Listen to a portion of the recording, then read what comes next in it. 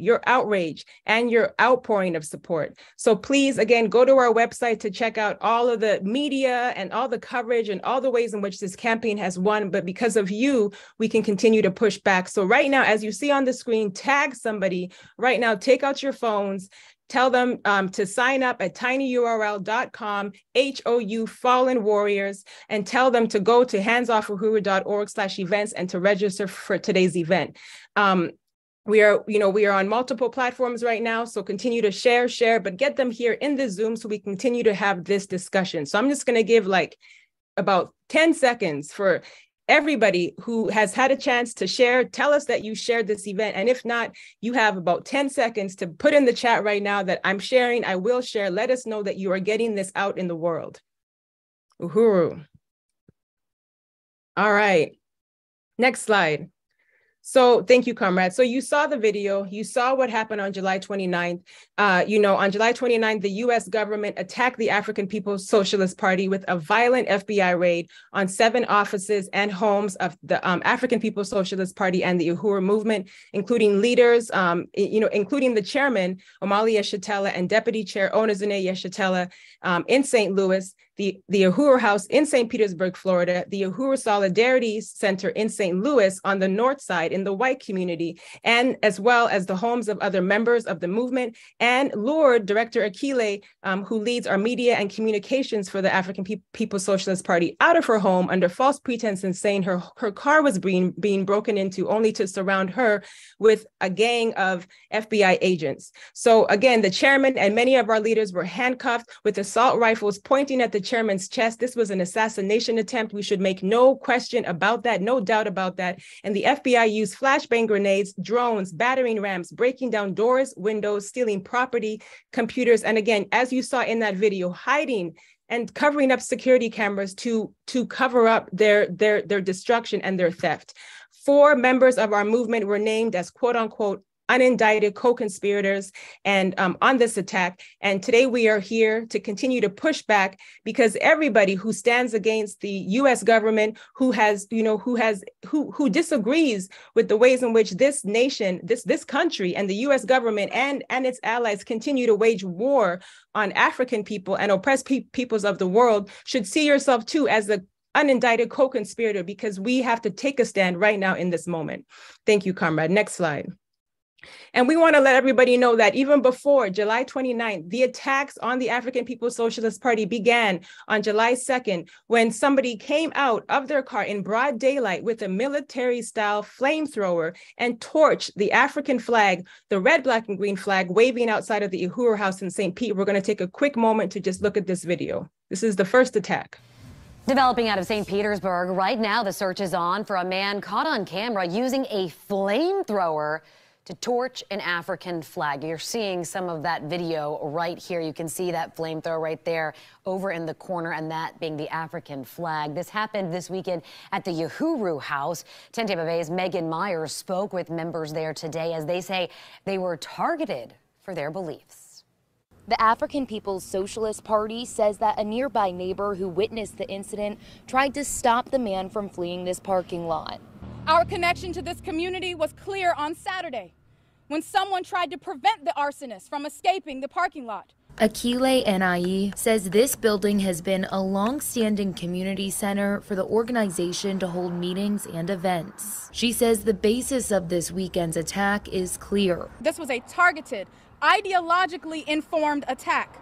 The surveillance video shows a man pulling up in a white car, sitting inside for a few minutes, and then getting out a large flamethrower from his trunk. Jamie Simpson says it was an attempt to intimidate the African community. No one can stop the African working class from organizing in their own interests to free themselves. Leaders of the organization want this to be looked at as an arson case. But St. Pete police say it's being considered criminal mischief because of the low monetary value of the damage. The group says they're confident they'll be able to track down the person responsible. Clearly, it was politically motivated a very ideological kind of attack. If you have any information about this incident, you are asked to contact police. I'm reporting in St. Pete, Megan Myers, 10 Tampa Bay. Thank you, Megan. And we did ask St. Pete Police if they're looking at this as a possible hate crime. They say to be a hate crime, there has to be a reference to race, religion, sexuality, and there was none of that. They add that this is the early stage of the investigation, and it is possible that a hate crime charge could be added later if deemed necessary. Uhuru. So as we said, that happened on July 2nd. And as you know, 27 days later on July 29th, the, uh, the African People's Socialist Party was attacked. Next slide. And then in September, September 2022, a petition that had been circulating from the African People's Socialist Party through um, one of our mass organizations InPDUM had over 130,000 signatures that were wiped clean from change.org.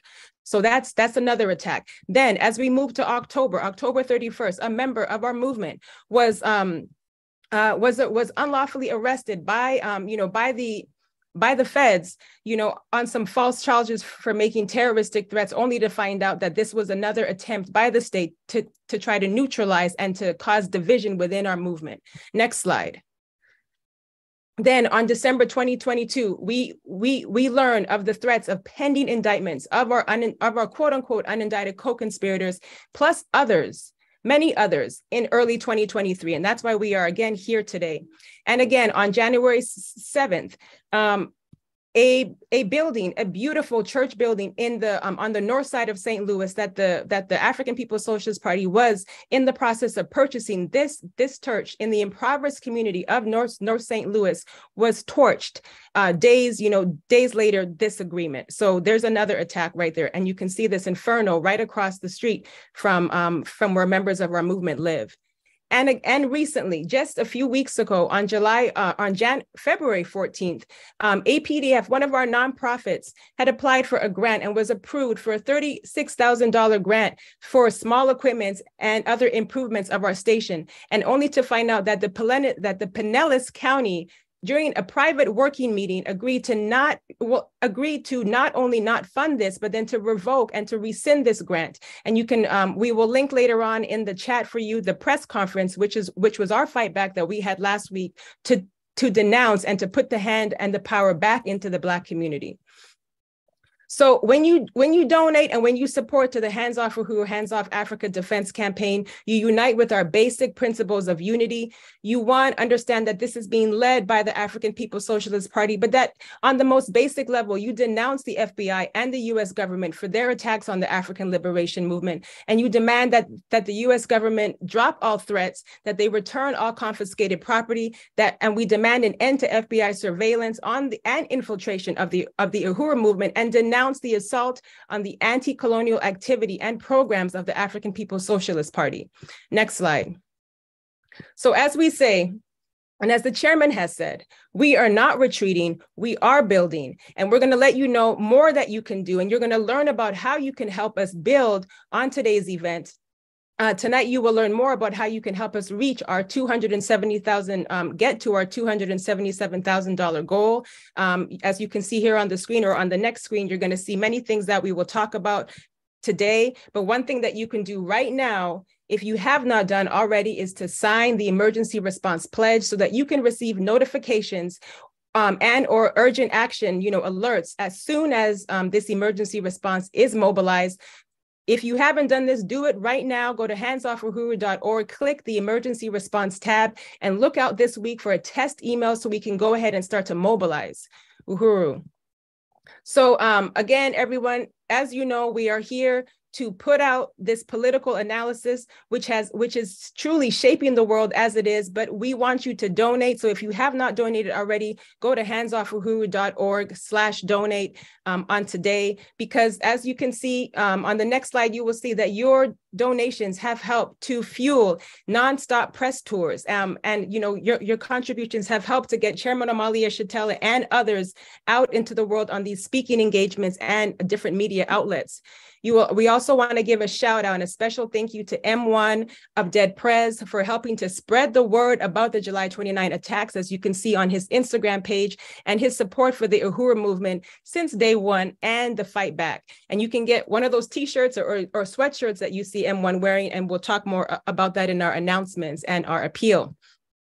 Also, again, so many interviews to mention. There are too many to mention. So we want you to go to handsoffuhuru.org, um, go to our, you know, uh, news uh, button, and, and you can see some of the media coverage that has been, um, you know, taking place, and that's constantly being updated. So we just want to appreciate um, all the different media outlets who have supported. And finally, again, we are going to make our goal today. Today, we have a goal of raising $2,000. We want to get past the $160,000 milestone, and we're going to do that today. So I want to appreciate everybody for being here today because, as we say, we are not retreating. We are building, comrades. And as we has it's been said, we are going to put the state on trial. So what I want to um, do is we're going to transition um, and I'm going to invite up Director Akile, who's going to give a presentation. But it is important to know that right now, the crisis of imperialism is being revealed. You can look in colonial news and journals, in the Washington Post and the New York Times, articles that are explaining exactly what the chairman has been putting forth for years, over 50 years, which is why we are, which is why the party was attacked, saying that there is this global divide and that this whole, you know, attempt to isolate Russia didn't work. But this has been what the chairman has been saying for years, everyone, and we know that. And so we want to just let everyone know that the party is leading and the African People's Socialist Party will continue to fight back so that Africa can can be redeemed and Africa can can return back to its um, to its state as as powerful, in power, self-determined people. So I'm going to invite up Director Akile, who's going to give us a uh, lead us through a presentation um, a slideshow with, um, you know, laying out the theme of today, because today is about the African martyr. We want to support, um, well, we want to appreciate and honor and look at the historical attack on African people fighting back for our liberation and for our freedom. So I want to thank you, comrades, for, um, for sticking with us. And thank you for those who have shared so far, who have made donations. We look forward to continuing to, um, you know, let you know that we see you. And, um, I see you on here, Director Akile. I think I do. There you are, comrade. Uhuru. all right, thank you, comrade.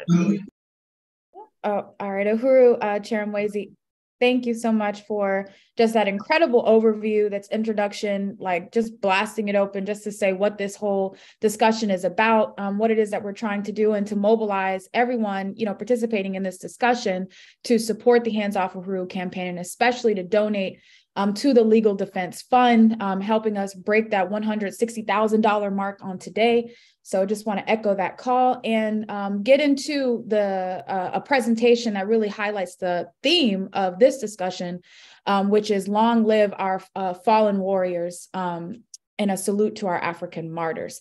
So uh, we can go to the next slide.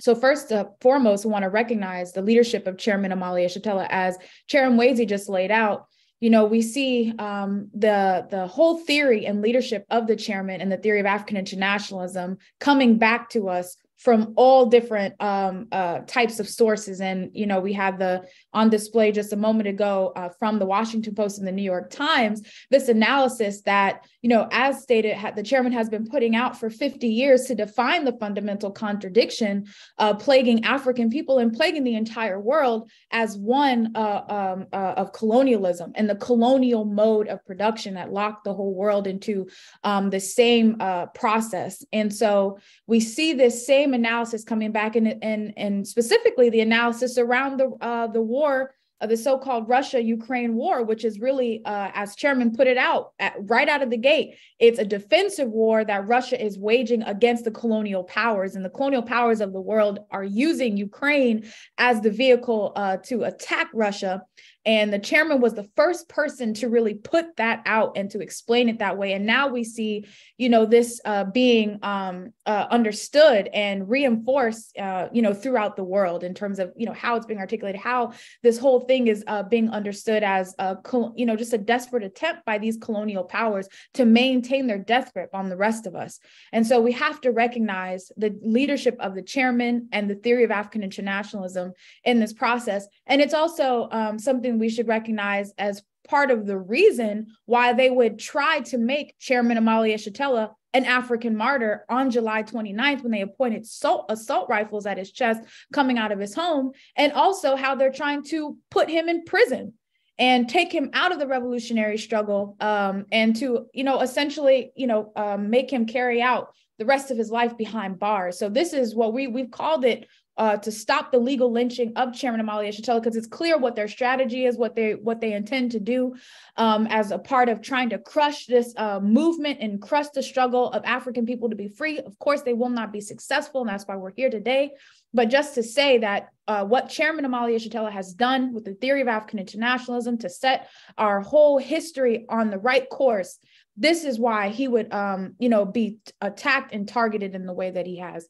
So I just want to say salute to chairman Omali Yeshitela uhuru so, the first Congress of the African People's Socialist Party in 1981 adopted the Day of the African Martyr on February 21st annually. So, since um, the adoption, the African People's Socialist Party and the Uhuru movement has celebrated African Martyrs Day on February 21st, which is the day, I believe, of the assassination of Malcolm X.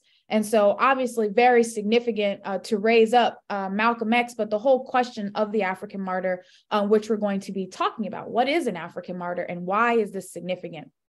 So, next.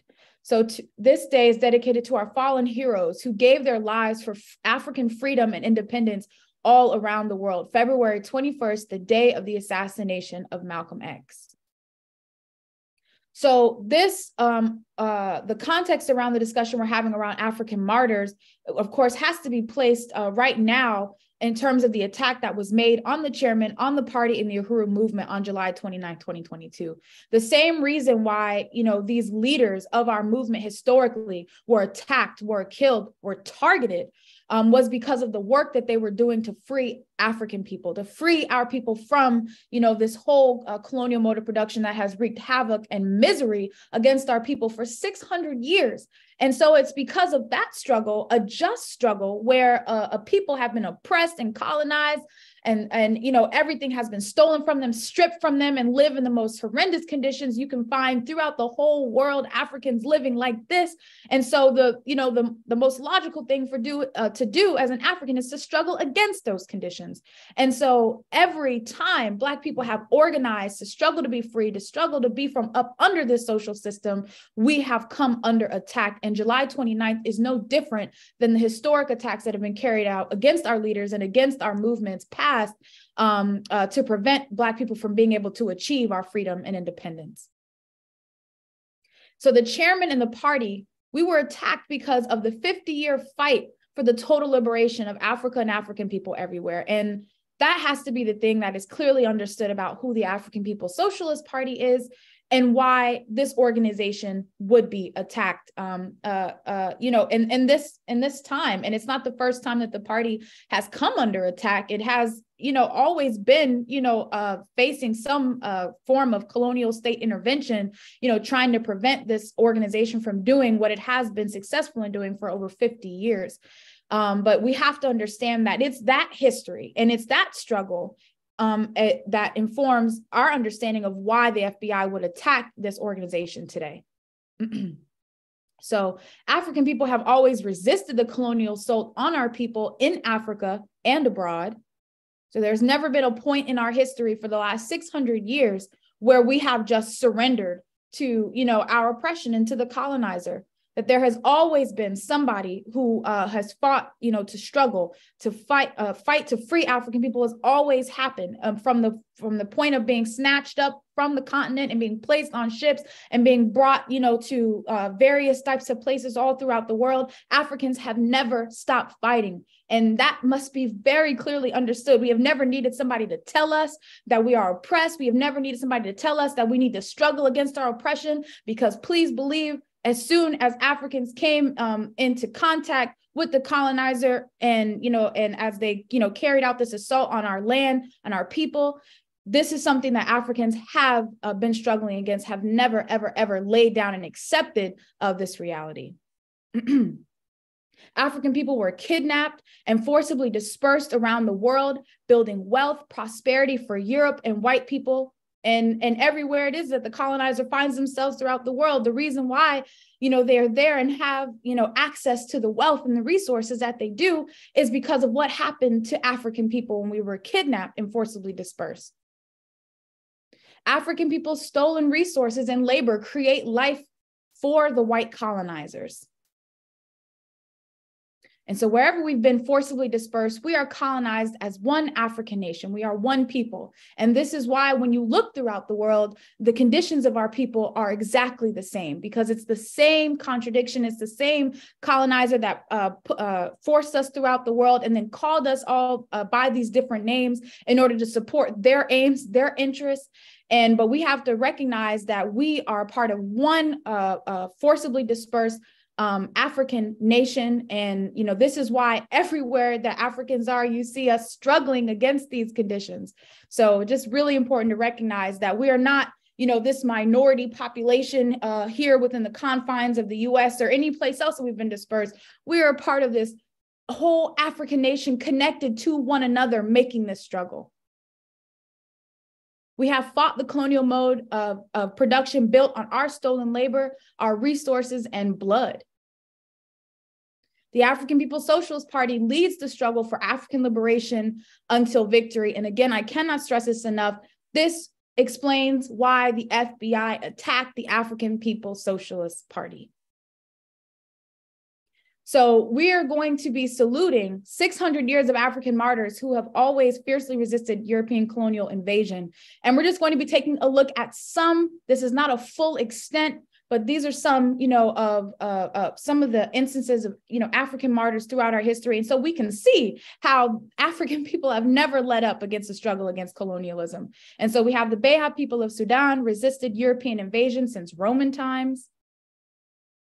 Queen Nzinga in the 1960s led armies to fight the Portuguese assault on Angola.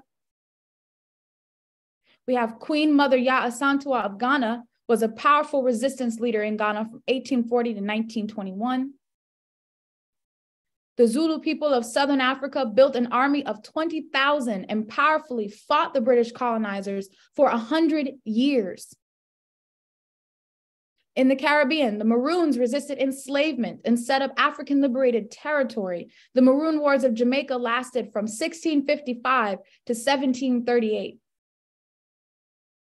In Brazil in the 1600s, resistance leader Zumbi led wars and won liberated territory for African people.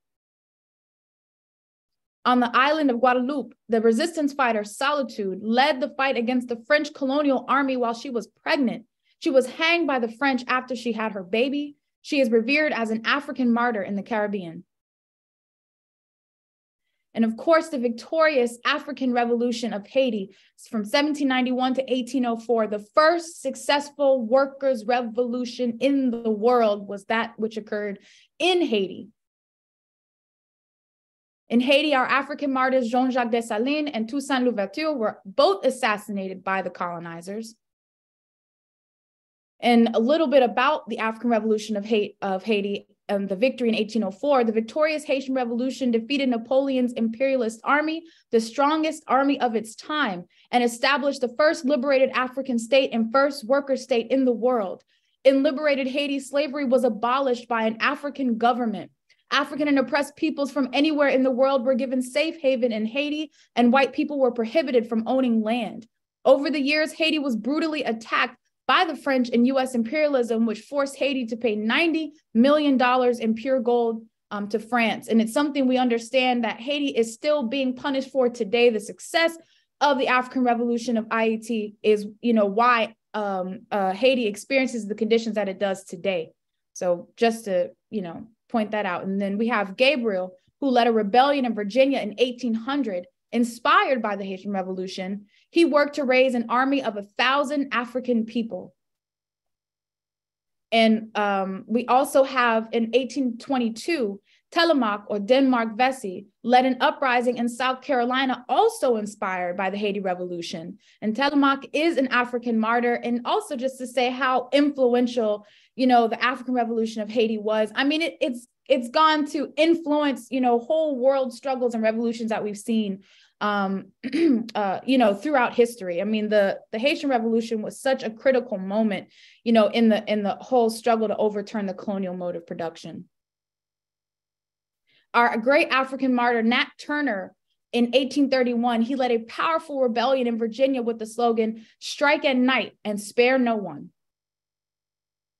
In Africa, the Kenyan Land and Freedom Party, the Mau Mau, from 1952 to 1960, fought against British colonialism. Led by our African martyr Dedan Kimathi, the Mau Mau army and the Kikuyu people were rounded up, tortured, and murdered by the British. Kwame Nkrumah in Ghana in the 1960s fought for one united socialist Africa. African martyr Patrice Lumumba, first leader of independent Congo in 1960. Patrice Lumumba stood up to the Belgians and was kidnapped, tortured, assassinated by the US and Belgian forces. The African Revolution in Azania, what is referred to uh, as South Africa today, Robert Mangaliso Sobukwe and the Pan Africanist Congress of Azania. Our African martyr on the Azanian front, Steve Biko, murdered by the colonizers. Amilcar Cabral, African martyr of Guinea-Bissau. Thomas Sankara and the struggle in Burkina Faso. African martyr Sankara was assassinated on October 15, 1987. We have Muammar Gaddafi in Libya, assassinated by the US government in 2011. Salute our African martyr, Marcus Garvey, and the UNIA and from 1916 to 1940. Marcus Garvey movement was, you know, one of the largest movements of African people you would see in history. And we had the Convention of the Negro People of the World in New York in 1920. And the UNIA, the Universal Negro Improvement Association, was an organization of 11 million Africans throughout the world, recognized, you know, under the slogan uh, "Africa for the Africans at home and abroad." The Garvey movement built independent African institutions such as the Black Star Line and the Negro World newspaper. An African martyr, Garvey was targeted by the FBI with bogus charges of mail fraud, he was put in federal prison, then deported and died when he was only 56. In 2017, then President Obama refused to pardon Garvey. So we see, first of all, the FBI being used as a tool to stop the ability of African people to be able to uh, struggle for our own freedom and work in our own interests. So we see the FBI as you know in this early um you know this early in the 1900s you know uh intervening in that process then garvey put in federal prison on these you know like fraudulent charges and this is exactly what's happening to the chairman and the uhuru movement in 20 um in you know in this uh period and uh, and then we also have you know this uh, evidence of you know neocolonialism, the selloutism, um, in the form of Barack Hussein Obama, who refused to pardon Garvey, as it states here. So we have the US front of the African Revolution of the 1960s. So we've gone around the world and now we're in the US um, with Malcolm X, our great African martyr of the 1960s in the US, the instigator of the urban anti colonial Black Power movement. He was assassinated by the US government on February 21st, 1965. Malcolm X brought the anti colonial struggle of African people in the US to the world stage. African martyr Dr. Martin Luther King Jr. was assassinated by the US government on April 4th, 1968. African martyrs Fred Hampton and Mark Clark assassinated by the US government on December 4th, 1969. They came into Fred Hampton's home at four o'clock in the morning in Chicago, just like they came to the chairman's home at five o'clock in the morning in St. Louis, Missouri. Same tactics. African martyr Huey P. Newton, leader of the Black Panther Party, assassinated August 22nd, 1989. And we also have the African prisoners of war in the US and this is just another you know form uh, of in ways. And as we're seeing with you know uh, the state trying to put this movement and the chairman on trial that this is one form of an attempt of a political assassination of our leaders. And the fact that they hold africans who were struggling in the black power movement of the 1960s and they're holding them into prison today waiting for them to die. This is the this is what we're talking about in terms of why we have this urgent this fight back is extremely urgent. Why we say that the uh, the the attempt to imprison the chairman Omali Yeshitela is a death sentence. This is why we're saying that because we see this history of taking out african leaders by throwing them into prison, locking them up and holding them there, you know, for decades, taking them out of the struggle and, you know, putting them in the worst kinds of conditions as punishment for struggling in the interests of African people. So we cannot forget our African prisoners of war in the US. Chairman Omali Yeshitela took down the racist mural in St. Petersburg December 15, 1966. This was the first act of Black power in this country, and he was sentenced to five years in prison.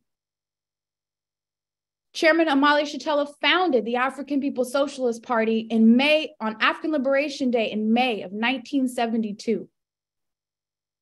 The chairman founded the African Socialist International to bring, as we talked about, African people are part of one globally uh, dispersed African nation. And the African Socialist International was part of the efforts to bring the whole nation together to a united struggle. And we have here Secretary General Luwezi Kinshasa, who heads up this work of the African Socialist International, uniting and building um, the African People Socialist Party, you know, throughout throughout Europe, the continent of Africa, and in various places where we've been dispersed. And the African People's Socialist Party, like Garvey, is building the power to govern, and we have the Black Power Blueprint. And what we have done with the Black Power Blueprint and the 50 over 50 economic institutions that we have in the Uhuru movement, not just not just in St. Louis, but in various places, that this is the work that Marcus Garvey set out to do to be able to create dual and contending power for African people to be able to feed, clothe, and house ourselves, because this was recognized as a really critical step to severing the dependence that we have on the colonizer themselves, to, to eliminate the relevancy of the colonizer in our lives by being able to do for self. That's what the Black Power Blueprint is all about. That's what the African People's Socialist Party is building the power to govern, to feed, clothe, and house ourselves, to produce and reproduce life for ourselves in our own interest. And again, this explains why the FBI attacked the chairman and this organization on July 29th. The chairman and the party have always fought for the African Revolution for 50 for more than 50 years. The chairman has been involved in this struggle for the majority of his life. 60 years or more the chairman has been advancing you know the, the struggle for freedom and the liberation of africa and african people. This is why the party was attacked by the fbi on bogus allegations of being under quote unquote uh, the influence of russian agents. I mean this is we just talked about this history. This is why it's insulting because they never needed a russian to attack Black people for struggling for freedom. And we've just laid this out historically. This is what the colonizer has done. Militarily, they've come in, they've tortured African people, killed us in the most, you know, inhum in in just the most inhumane ways that you can possibly think of to make examples out of these leaders to say this is what will happen to you if you dare to struggle in your own interest so you know this has never required um, a, a, russian or anybody else that the us at any point in time has ever contended with. They have had a, a problem with african people ourselves being able to first of all come to the conclusions about our conditions and then to be able to struggle against them. This has always been something that has been a threat uh, to the US government and this whole social system. So, this, you know, this whole history of the African martyr and the history of the party can totally knock out on its own the allegations uh, uh, that, you know, have um, uh, come from the FBI against this movement. The party has built the Hands Off Uhuru, Hands Off Africa Defense Campaign, which is going, it's an international campaign, as we'll uh, point out with some of the panelists on today, to extend this struggle all around the world because Uh, obviously, as those articles indicate from the Washington Post and the New York Times, and as the chairman been saying, this is something that impacts the whole world. And everywhere you see, there are colonized and oppressed people fighting back. And the Hands Off Uhuru, Hands Off Africa Defense Campaign is uniting all of these forces to be able to defend the Black liberation movement in the form of the African People's Socialist Party. And the Uhuru four unindicted co-conspirators, as already stated, the chairman is the primary target for this attack. And they've attacked me as well as Penny Hess, the chairwoman of the African People's Solidarity Committee, and Jesse Neville, the chair of the Uhuru Solidarity Movement, who um, these organizations, as part of the strategic front of the African People's Socialist Party, under the leadership of the African working class to go into the colonizer population, to fracture the unity of the colonizer population, to win them to their interests in the struggle for African liberation and for reparations to African people. So, this obviously powerful strategy that required them to not only go into North Side St. Louis and South Side St. Pete, historically African communities, but having to go into the white community to also make this same attack that says something about the significance of the work and uh, of the party and the Uhuru movement and the leadership that has been provided that they have to um, to do both of those things. So we understand, you know, it's very clear why you know these individuals are part of the um, the uh, are targeted as part of the attack, but of course the whole Uhuru movement, you know, has been opened up to this attack as well. So I'm going to close out by saying one Africa, one nation, hands off Uhuru, hands off uh-huh. Africa. This is, you know, why we're expressing the significance of hands off Africa, because this is what we recognize that this attack that was made on our movement is an attack on the right of African people to be able to unite around the world, to struggle in our own interests, to struggle to be free. And you know we will not stand for it, and this is something that we're calling on you uh, to to be engaged in as well. When we talk about raising up our African martyrs, part of the struggle is is to create a situation where they don't get to make any more african martyrs out of us that we can you know uh, push them back. We can defeat them. And you know we can win this. And we are winning uh, comrades brothers and sisters. So long live our african martyrs our fallen uh, warriors and hands off uhuru hands off africa hands off chairman Omali Yeshitela uhuru uhuru Wow, Uhuru Director Akile, um, I just really want to appreciate you for that overview. And as you said, this is not this does not include everyone, right? This is just a glimpse of what this um, of, of what the colonial attack has been on on the African liberation struggle and on any type of anti-colonial activity led by the African working class because that that's who you see there organizing the African working class. And this is why the African Pe- People's Socialist Party came under attack under this strategy that has always centered the African working class and will continue to fight until the end. And I want to read a um, just one comment that was in the chat um, by Comrade Pharaoh that says no matter how hard colonialism tries it can't stop us now. We will forward and fight the African revolution until we liberate Africa and African people everywhere from colonialism, imperialism, capitalism. The struggle continues until victory is won.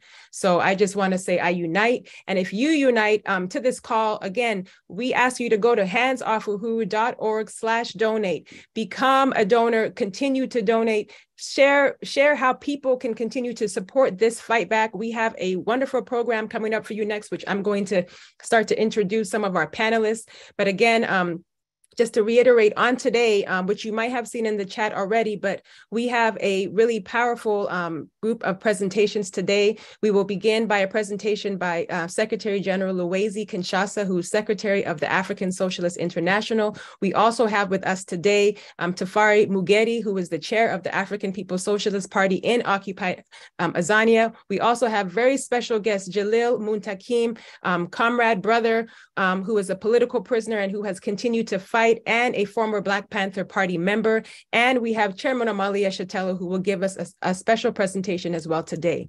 So we are going to get right into our um, our speakers.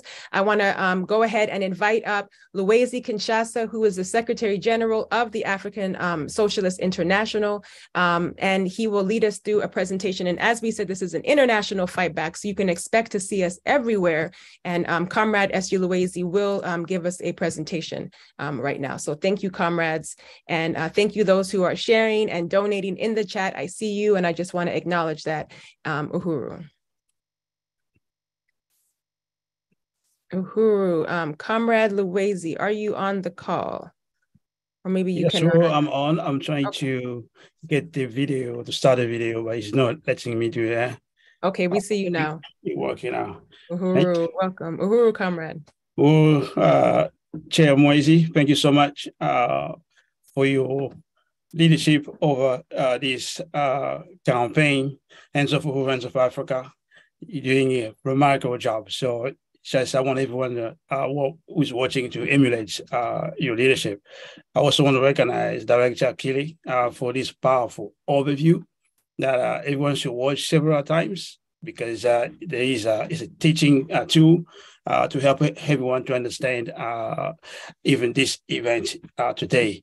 I would like to salute everyone who is joining, and uh, I would like to salute Chairman Omali Yeshitela, uh, the founder and the leader of the movement of the African People's Socialist Party, also the leader of African Revolution, in fact, the leader of the world revolution.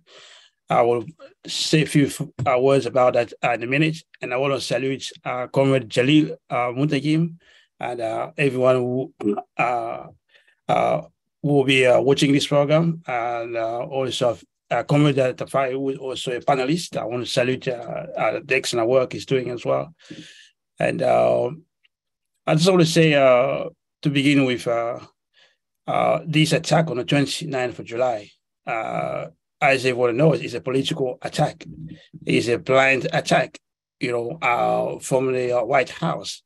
Uh, it's not uh, something just happened just like that. It's a response uh, to the effectiveness of the leadership of Chairman uh, Omali, uh, because just as it was in the 60s, uh, in time of uh, uh, Lumumba's leadership, as most of you, you already uh, are, are familiar with the attack on Lumumba, because when Lumumba was on the scene, it was during the period revolution was on the rise. So it burst on the scene when the revolution was on the rise, and it was clear to the United States government uh, to the colonizers' uh, uh, governments around the world France, uh, Britain, uh, South Africa, uh, all of them.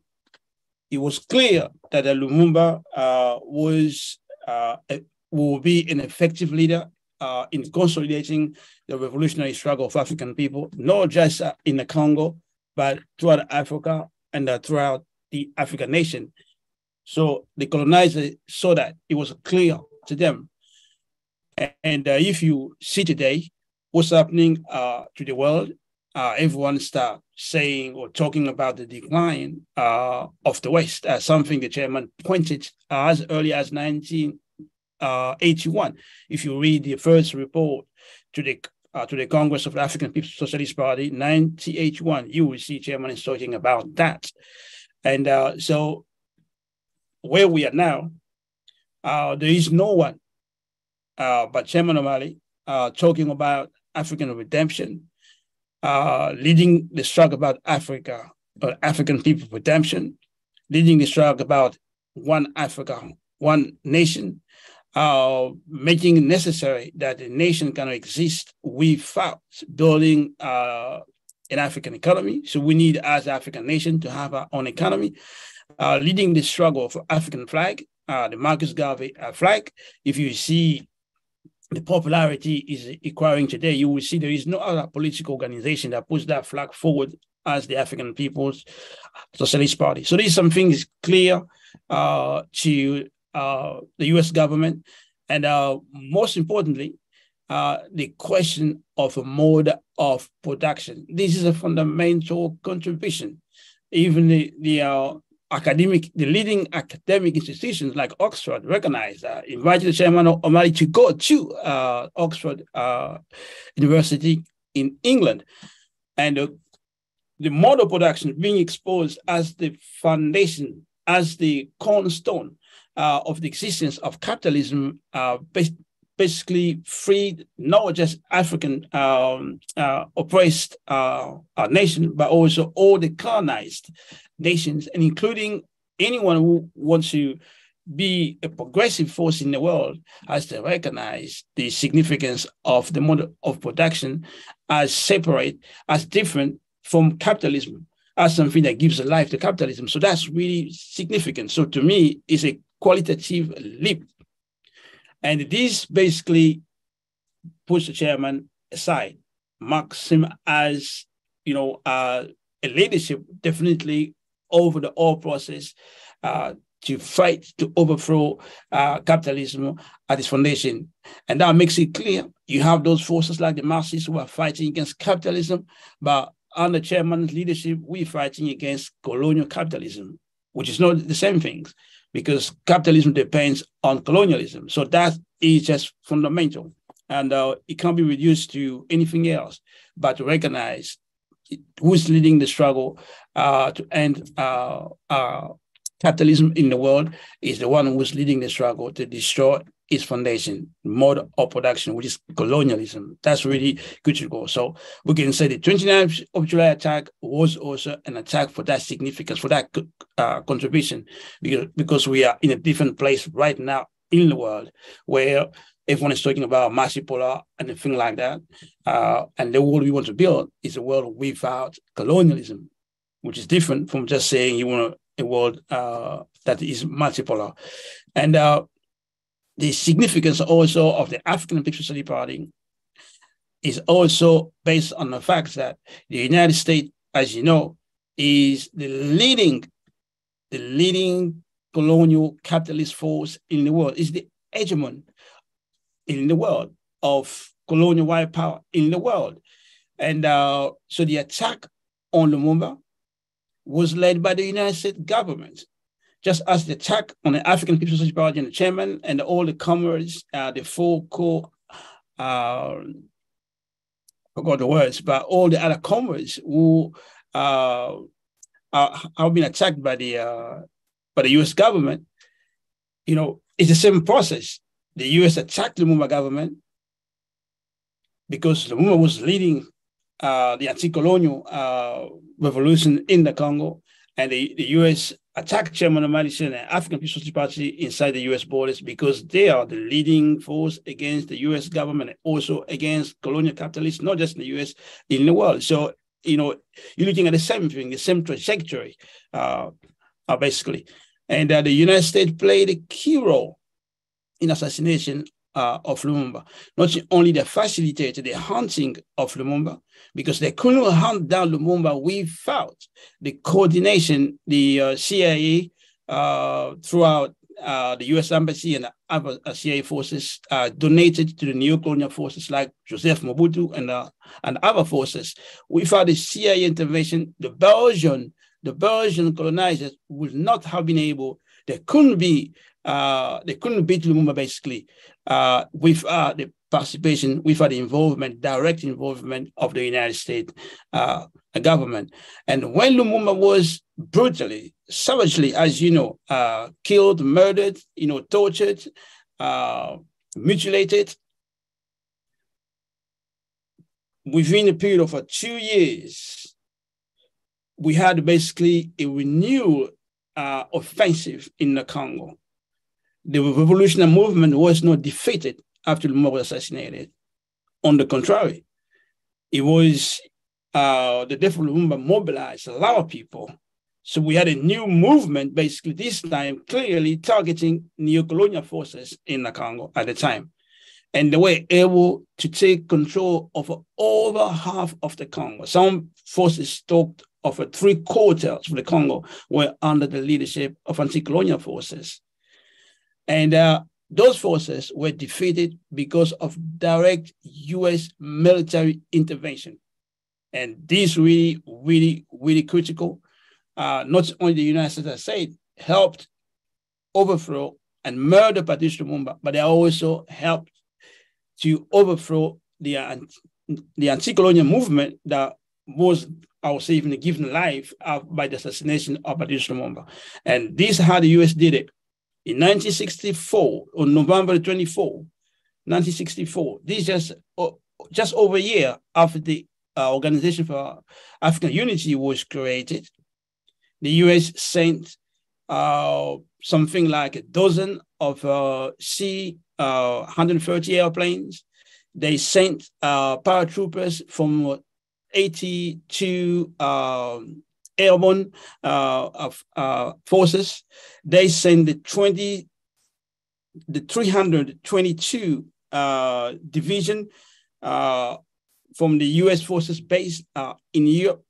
They supply uh, planes with pilots from Cubans who were expelled by the revolution in Cuba in the Congo. So they bombed uh, the revolutionary forces. And you have to bear in mind, those revolutionary forces were not equipped like in Vietnam, where you had a revolutionary leadership who organized and equipped uh, uh, the Vietnamese uh, to fight back. In the Congo, we didn't have that. We still uh, were unarmed most of the time and fighting with uh, rudimentary, you know, basic uh, traditional weapons, and we were bombed by those planes. And not only the U.S. supplied those planes, the Belgian troops also uh, were sent to Congo. I remember Congo just became independent or allegedly independent from the Belgian. And in complete violation of international law, the Belgian sent troops there too. So the, we talk about 100,000 uh, people killed in that process, just in the eastern part of Congo in particular.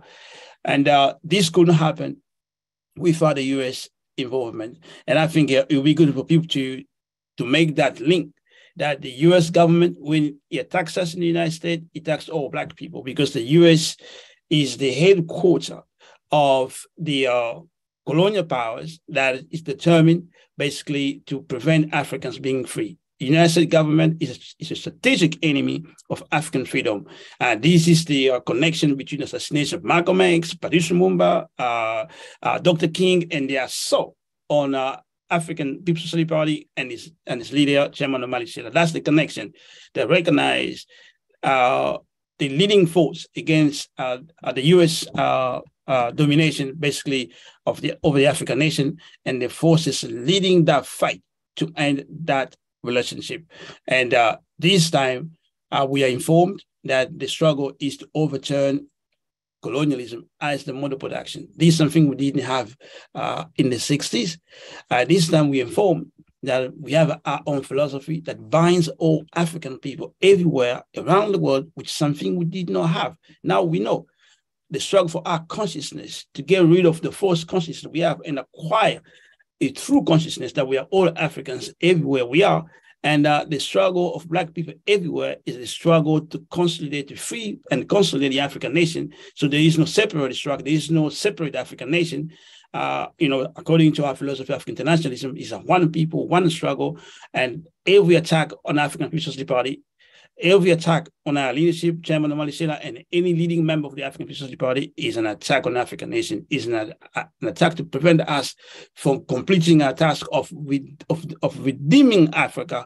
And uh, that's really, you know, uh, is uh, some of the things that I want to, uh, to talk about.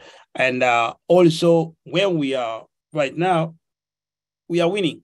And I think this is also something that motivates our enemy, uh, you know, to attack our leadership. We are winning. When I say we are winning, you heard Director Akile mention how African internationalism is coming back to us uh, through even uh, uh, the media of the bourgeoisie, of the colonial bourgeoisie aside, but also through different forces uh, around the world, including the African petty bourgeoisie. Everywhere you go, people talking about colonialism, you know, uh, it, there's something that was not really systematized. We are the one who have made it system, you know, systematic that you have to talk about colonialism, colonialism, colonialism. And now we're talking about model production, and you can see if one start talking about model production, and that's a recognition uh, of uh, the leadership uh, of Chairman Omali Yeshitela. And uh, also that uh, this is something uh, I'm, I'm going to repeat, Chairman, as I said many times, that our struggle uh, is a struggle to unify the African nation. Our struggle is the struggle for the emergence of the African working class as the leading force in the struggle for the redemption, unification of our African nation. And uh, this is something that nobody really can take away uh, uh, from us.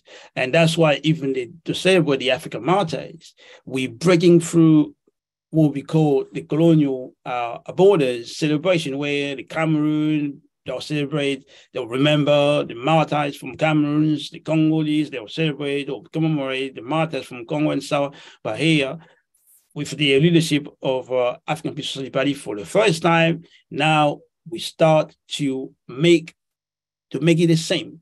That everywhere we have to celebrate the African martyrs, which means remembering all the Africans everywhere who whose life was stolen in the process of resisting colonial domination for our people everywhere. And this is part of a victory uh, that we can celebrate. That's why today we are strong and we are optimists because we are winning everywhere. We're building in Europe, we're building in Africa, uh, not just in English speaking countries, we are also winning in French speaking uh, uh, uh, countries. So we are growing. And uh, there is nothing the FBI, the US government can do uh, to stop the African People's Socialist Party. It's too late because the vision of chairman is already out there in the world is in the head and the brains of many Africans uh, everywhere. So we just say, stop the FBI attacks on African People's Socialist Party, hands off uh, hands off Africa is too late. We are winning. Oh, comrade, and I thank you for the privilege uh, to be uh, on on uh, on this panel.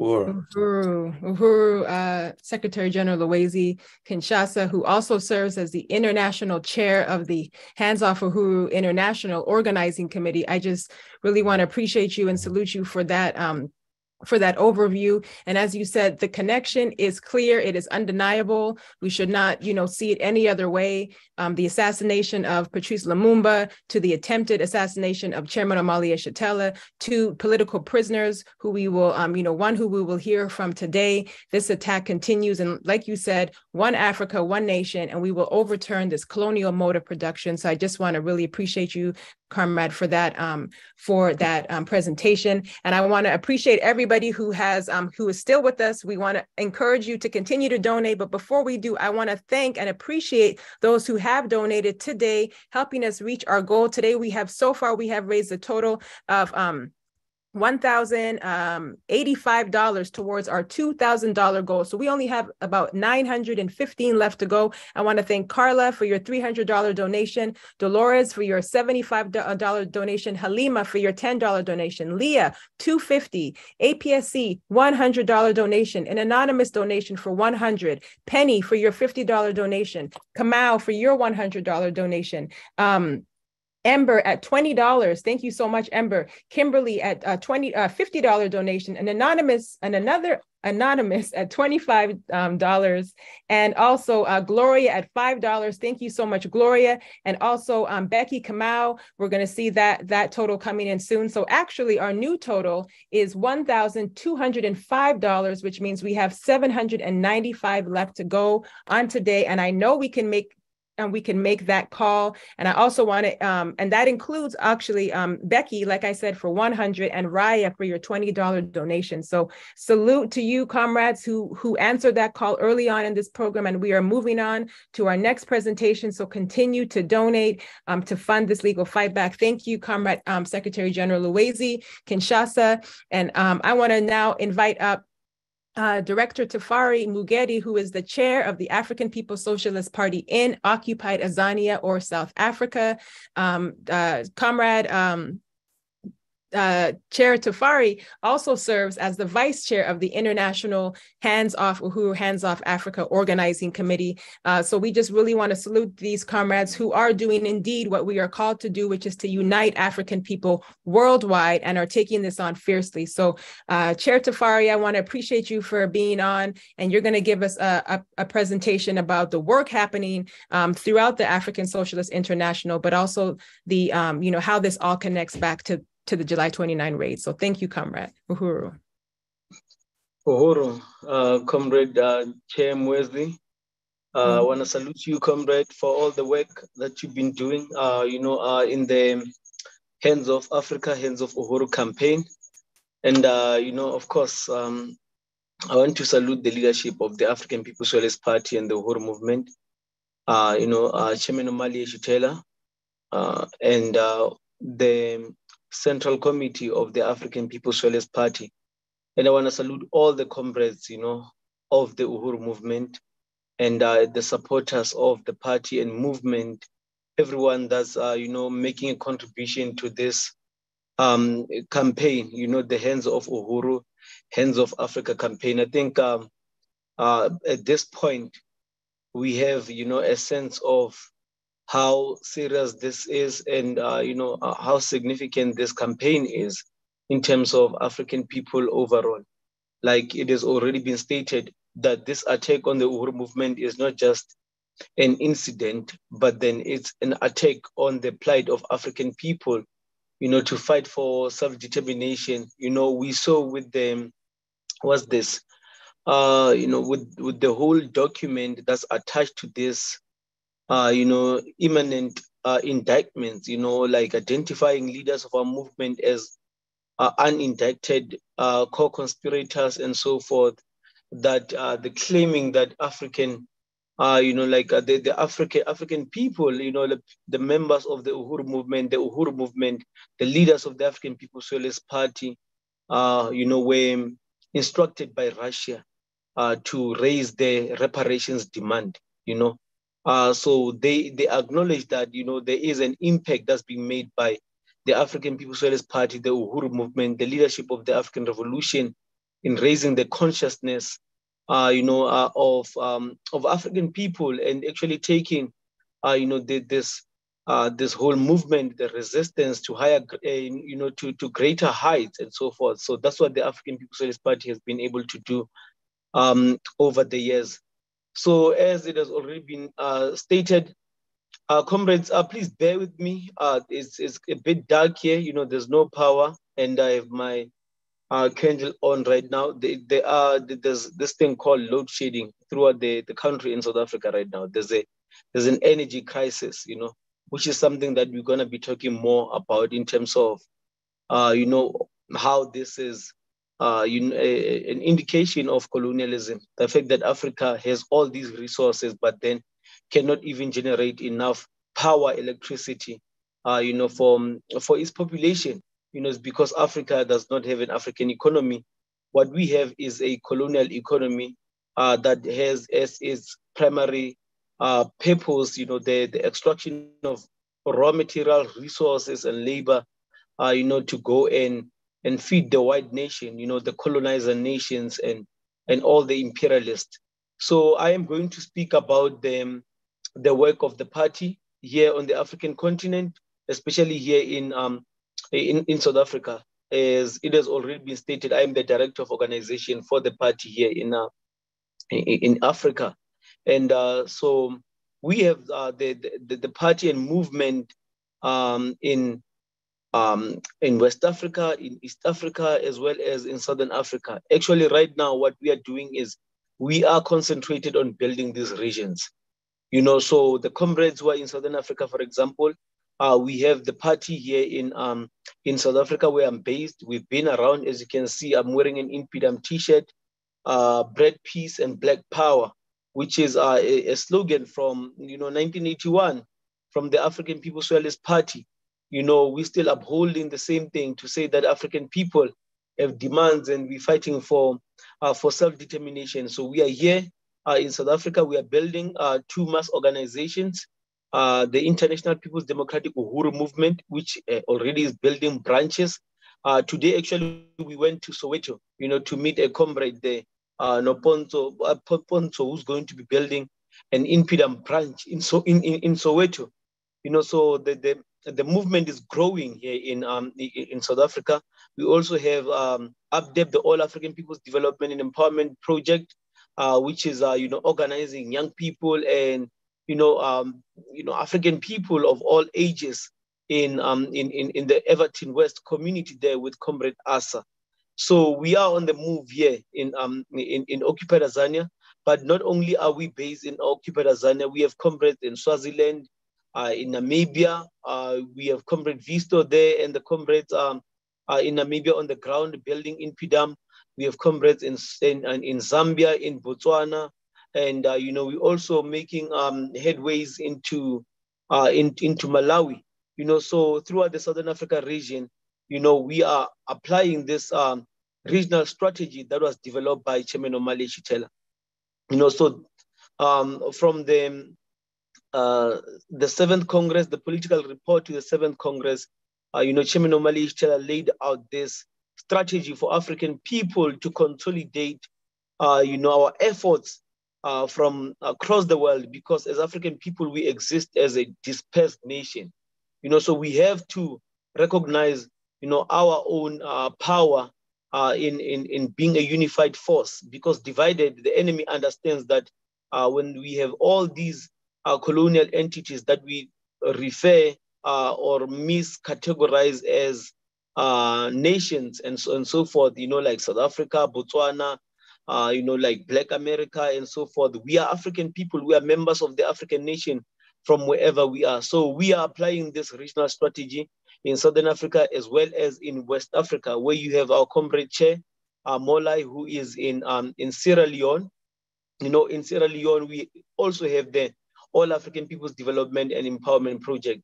Actually, I just I also want to say about the All African People's Development and Empowerment Project, APDEP, uh, led by Comrade um, Aisha Fields, uh, that they are working on a on a um, conference that's going to take place, I think, from the on the 17th of March. You know, um, uh, you know, advancing this uh, project that we have, uh, institution that we have known as Project Black Ankh, you know, which is an, an emergency response, uh, you know, like entity that we have in the uh, in, in the in the movement. You know, uh, African people right now, like if you look at Southern Africa, for example, there are tropical cyclones that are approaching and uh, you know the lives of African people are always at risk. You're gonna hear about thousands of people losing their lives unnecessarily, you know, uh, and and we don't have our own capacity to respond in this manner.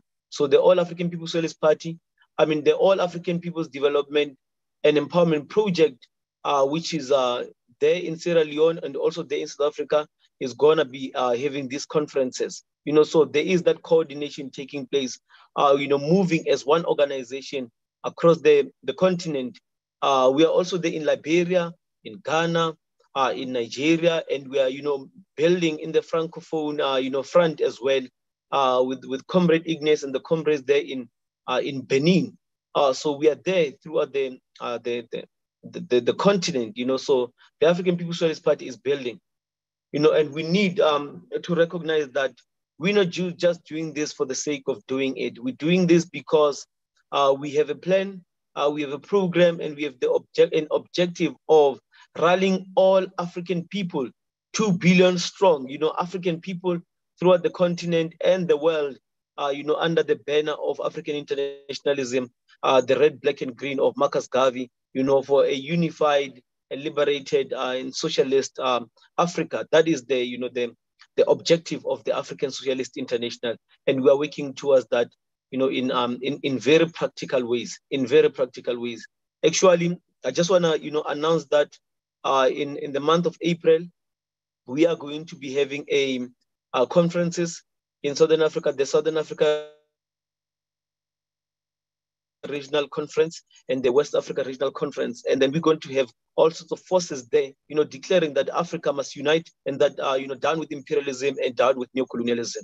So, Oro, I just want to uh, also speak uh, in terms of recognizing this week as being the week of the, um, being the, the week of the African Martyrs Day. You know, the 21st of February is the date in which uh, Malcolm X, an African martyr, was assassinated by US imperialism because he was fighting for African liberation, fighting for African people to have our own capacity to be self-governing, to be self-determining, some, something that the Uhuru movement is centered around, you know, this, the same reason Malcolm X got attacked uh, and uh, eventually assassinated is the same reason that the Uhuru movement is being attacked today and uh, so with with with the with with that, we want to recognize African martyrs here on the African continent, um, and uh, especially here in, um, in in South Africa, where I am based. You know, we want to recognize uh, you, comrade uh, Robert Mangaliso Sobukwe,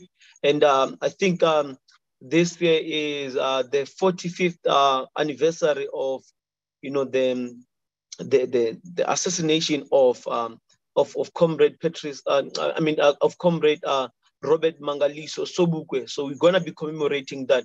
We have to up, up, uh, uphold these African martyrs, as well as, um, you know, Steve Biko, who was, uh, you know, like uh, murdered, I think, a year before the, the, the death of, of, of Comrade um, Robert Mangaliso Sobukwe, you know, brutally murdered by the South African police. And we have to say he was murdered by the South African police because that's uh, that's who it is.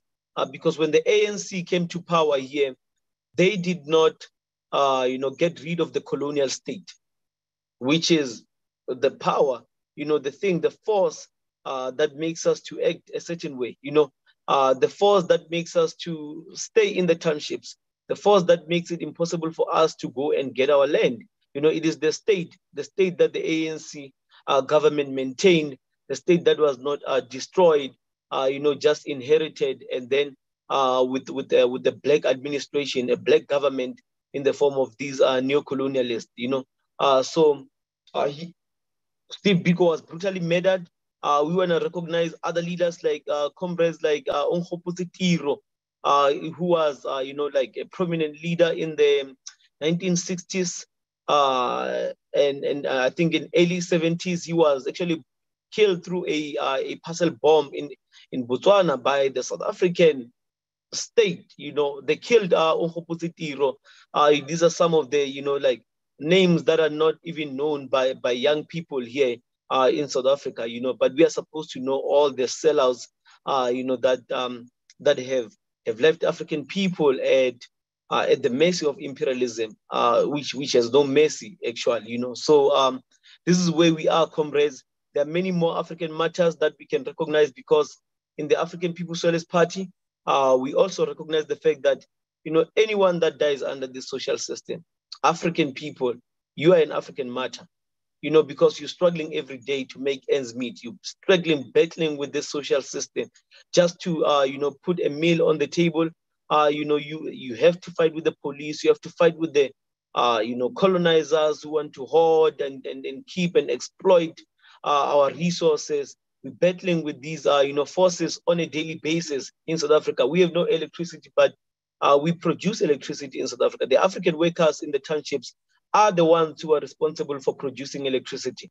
But then we don't have access to the electricity throughout them, um, uh, the, the country, you know. So this is colonialism, comrades. It is colonialism, and uh, we have to build this, uh, you know, like this, this campaign, the Hands Off Uhuru campaign, and we have to build the movement for the total liberation of um, of uh, of Africa and um, and, and, and African people.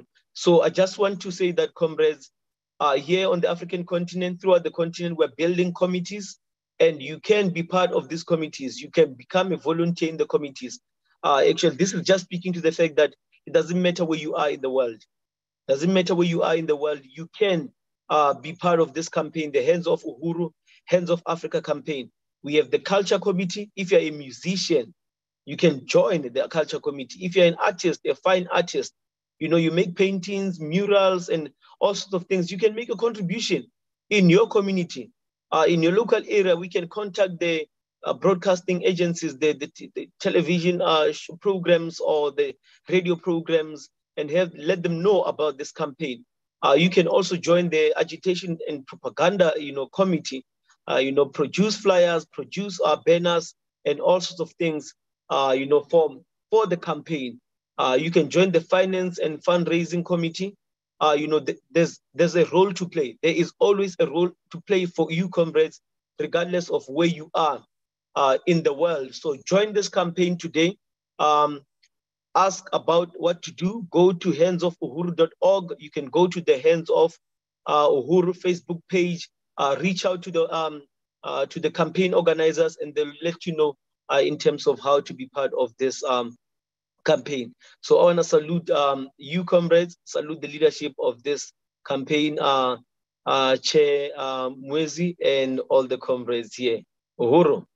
Uhuru, Uhuru, uh, Comrade Chair Tafari, just really want to salute you for, again, not enough time to go over the history of um, a resistance of African people and our African martyrs. And as you said, we are African martyrs in terms of, you know, how how we are living right now we are not meant to live this way. And so we you know we can't call this life but while we are alive we have to make the sacrifice for like you said total liberation. And i just want to appreciate you Carmen. i know it's late there. And as you said you know the energy crisis right? And there's no reason to quote you that africans you know should have all the africa should have all these resources but not able to generate enough you know electricity or you know for our own population so um, we need an african um, economy and this is the anti-colonial um, activity that came under attack by the african people's socialist party through what we call dual and contending power building our own um, anti-colonial economy that negates the power. So I want to appreciate you, Comrade, for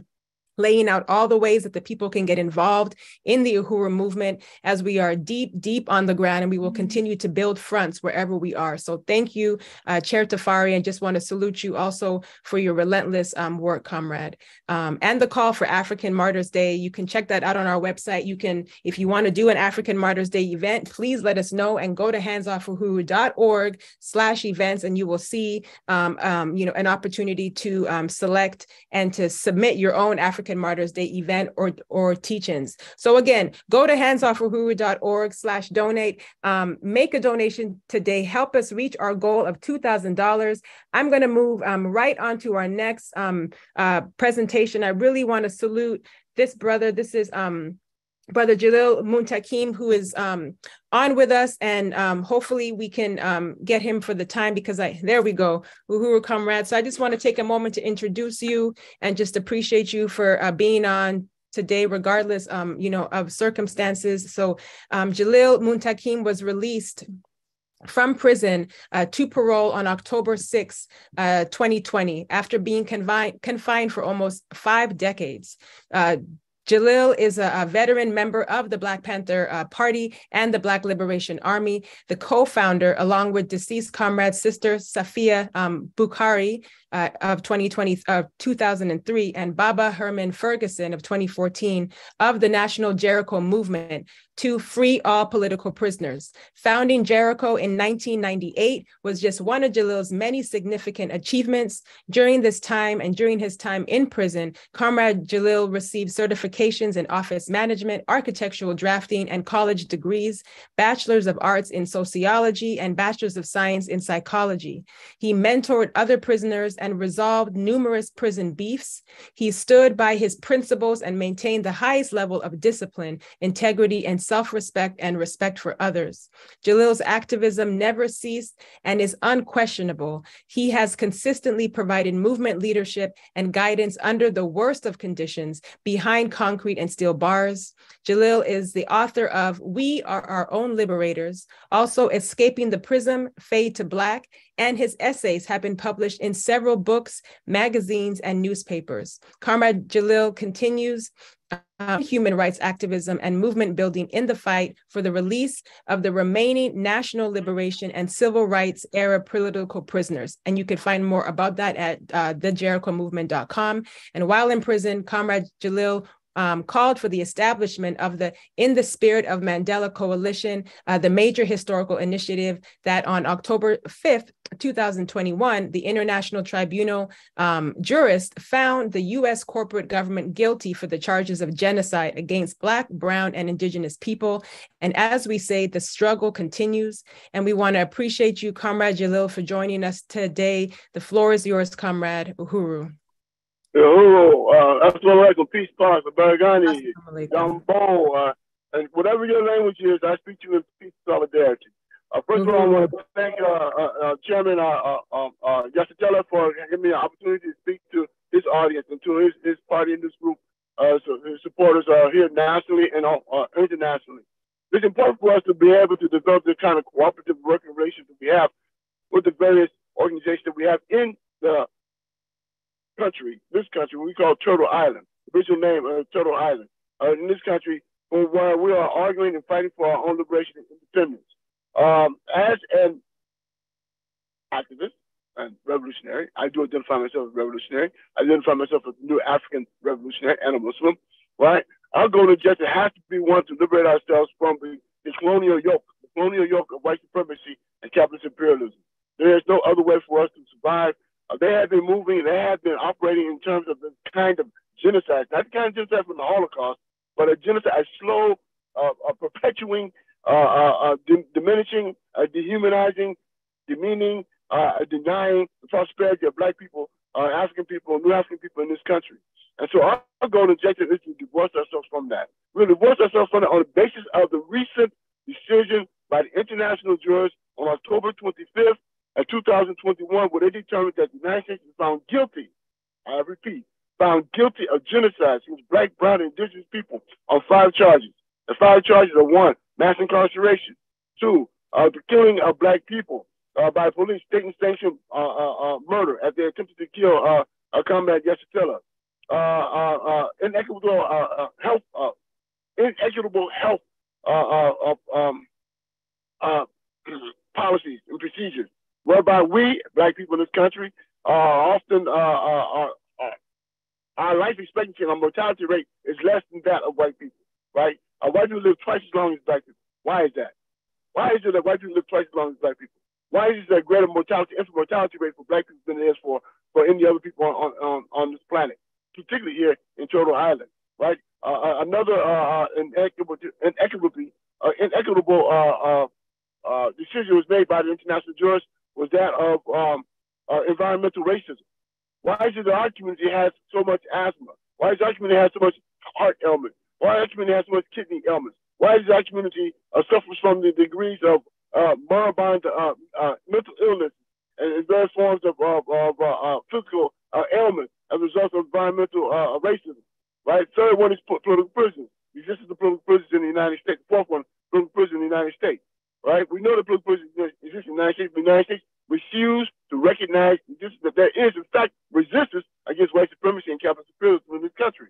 Right. So we raise the raise the the, the names, raise the the, the value of our comrades who are incarcerated, right? Why we are raising them? Because they represent the resistance in our struggle for liberation and independence in this country. They have to be recognized. We have to understand of the sacrifices they made. It's imperative that we do so in order to strengthen our struggle and strengthen our understanding that we are engaged in war. Make that point explicitly clear, right? We have been engaged in war. They have they have engaged in war against us. And so therefore we have defended ourselves against the kind of racist horrors that we have suffered in the last 400, 400 years in this country, right? Uh, and, and lastly, uh, of, of, course, is the question of um, of uh, health, equities, environmental racism, political prisoners, and and and, and uh, uh, the killing of, of our people. Those are the five. And if we look at the, the five cumulatively, we can see how we have been actually, in fact, uh, suffering the con- conditions of genocide in this country. Right now, what is important about this, this decision by the international jurors? 70 something years ago, the great Paul Robeson, the great W.B. Du Bois, the great William Patterson made an attempt to bring the charges of genocide against the United States. This is on December 17, 1951, about two months after I was born. 70 some years later, we succeeded what they attempted to, to, to, to achieve. We actually got a verdict. We have called the international jurors to the United States, nine international jurors, esteemed body of international representatives of various organizations, including human rights, human rights, uh, uh, uh, uh United Nations Human Rights uh, uh, Council, was here at Malcolm X Memorial Center, Malcolm X Benedict Badge Memorial Center. We held this tribunal, international tribunal, and they found the United States guilty on those five charges of genocide. So what that informs us, we have to remove ourselves from harm. We have to divorce ourselves from a system that's been engaged in the process of genocide against us for the last 400 years. It's not a question. It's not a question about that. Right? And nor do we have uh, uh, any way to, to, to validate right, our existence here in the United States, our existence here in Turtle Island, without understanding the history of resistance that we have had uh, in the last 400 years. Uh, uh, our comrade uh, uh, M. Weezy, I don't know if I said her name right, M. D. Way, is that way, right? Explain mm-hmm. the, yeah, thank you, sis. Explain the, the history of resistance, much of the history of resistance in this country, and we continue to do so. In 1966, right, what happened? We had the Black Panther Party. Black Panther Party for what? Self-defense. Why do we have to build a party to defend ourselves? Right? Common, easy question that we need to answer. Why? Because we've been under attack. That's why. For 400 years. And so for us, moving forward, we are moving to what we call a people centered. We're going to build what we call the people centered. Right? We are divorcing ourselves from the system of oppression, divorcing ourselves from a system of repression, divorcing ourselves from a system of white supremacy. Right? And this means we have to also build what we call decolonization programs. To decolonize our mind. Right? We have been traumatized to the extent that our trauma has been normalized. That the way that we live today, the way we're conditioned we live today, it's been normal. Like this is the way we're supposed to live. Hell no. We are not. Right? We are better than that. We are better than what they think we are. The fact we're great. I even say that. as a people. You look at the resilience of us as a people in this country and around the world, how we have resolved ourselves to be to survive, right? Not to survive, but to prosper. And that's our goal and objective. And so for moving forward, this is what we're going to do. This is what we're doing, right? We built a word called People Senate, and we're doing something else it.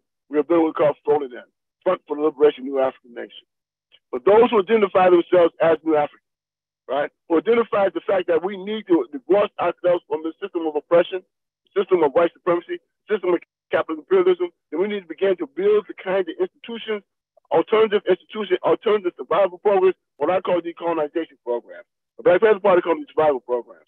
And for me, that the idea of survival program is the defensive posture. Right? So we're going to take the offense. And the offense is this year. We're going to build what we call decolonization program. We're going to decolonize our thinking. That's what we can decolonize the world in which we live in. Right? And we're doing the process of doing so. And so that's what we're going to do. Decolonization programs across the country. And as a process of doing so, we're going to unite these decolonization programs. brother, a national, international umbrella, we're going to call FLONADEN, Front for the Liberation of the African Nation right? We talked about the struggles in Africa. Uh, we talking about the, the previous struggles in the 60s and 70s in Africa. We talk about uh, uh, uh, um, MPLA. We talk about uh, uh, Frolinan, uh, uh, uh, uh, Frelimo.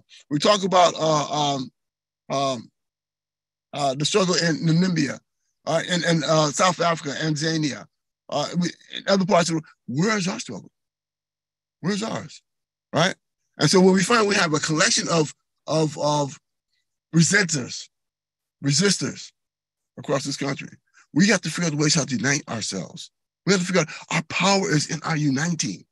One thing we got to understand about capitalism, capitalism is based on two principles, individualism and competition. What's the opposite of individual competition? Unity and cooperation. We have to unify our movement we have to build cooperation amongst ourselves in terms of our goals and objectives to achieve going forward, right? The idea of Pan-Africanism has to begin with the idea of our building our own nation. How can we contribute to Pan Africanism if we ain't got a nation?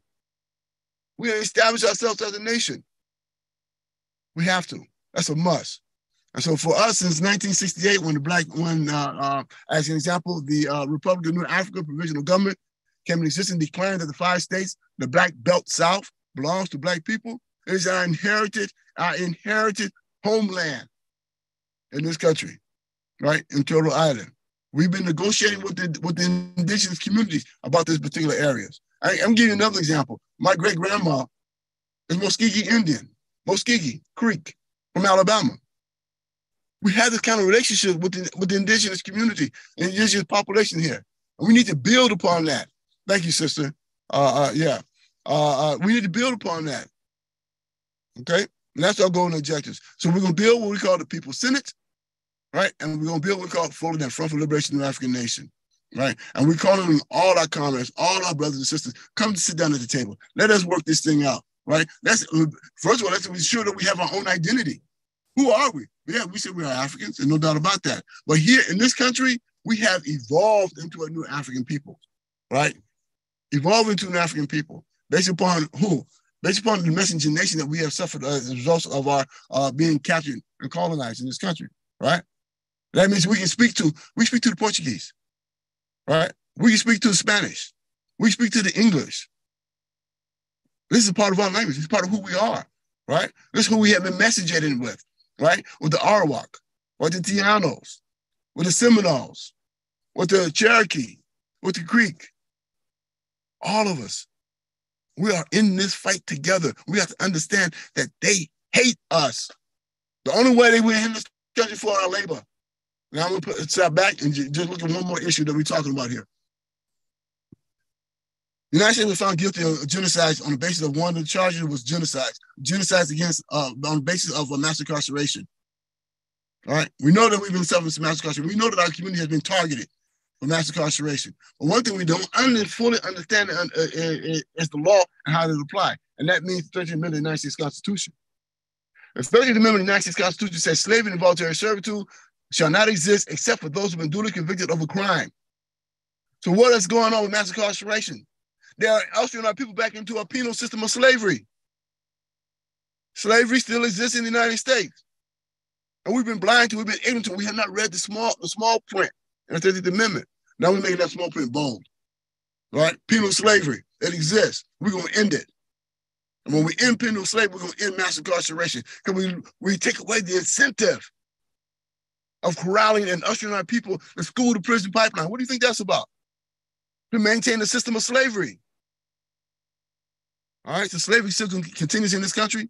We have to end it end slavery, end mass, end mass incarceration by end penal slavery. So across this country, we have a movement going on called 13 Forward. If no one knows about it, uh, check it out. 13 Forward. Wherever you are in this country, fight to end uh, penal slavery. Right? Fight to change the constitution of whatever state that you're in. Remove the language of penal slavery out of their constitution. Remove it out of their constitution. This is part of our movement. All right. It's extremely important part of our movement. Why? Because we changed the dynamics the dynamics of our relationship with this country in terms of crime and punishment, how our how our communities have been targeted. They're targeted for a purpose. Let me give one more. Let me just share one more thing. One more idea in regards to 1865 when they promulgated the uh, 13th Amendment of the United States. The 13th Amendment says that individuals cannot hold people as property and as slaves. But that caveat in there says, that exception clause in there says, the state can. So they removed the, they removed black people, African people from the hands of white folks who was using us as slaves and put us in the hands of the state. That's what they came back with the black codes, right? As a means to usher us back into this penal slave system. They came with Jim Crow as a means to usher us back in the penal uh, uh, slave system. They came back with mass incarceration, mass to move us back into this system of, of penal uh, of slavery. So that's a goal right? Because when we raise that question, then we raise the entire history of our resistance against penal slavery. We raise our entire history against the ideas of our community being targeted, targeted for our babies and generations to be ushered back into a system of penal slavery. So that's one of the goals of objectives. How are we going to change this idea of being being uh, being actually being charged with genocides for mass incarceration? We're going to take the, the money out of it. That's how we challenge capitalism. That's how we challenge white supremacy. That's how we challenge we being targeted, our community being uh, targeted. Wherever you are in this country, I'm asking you. In fact, I am begging you, right?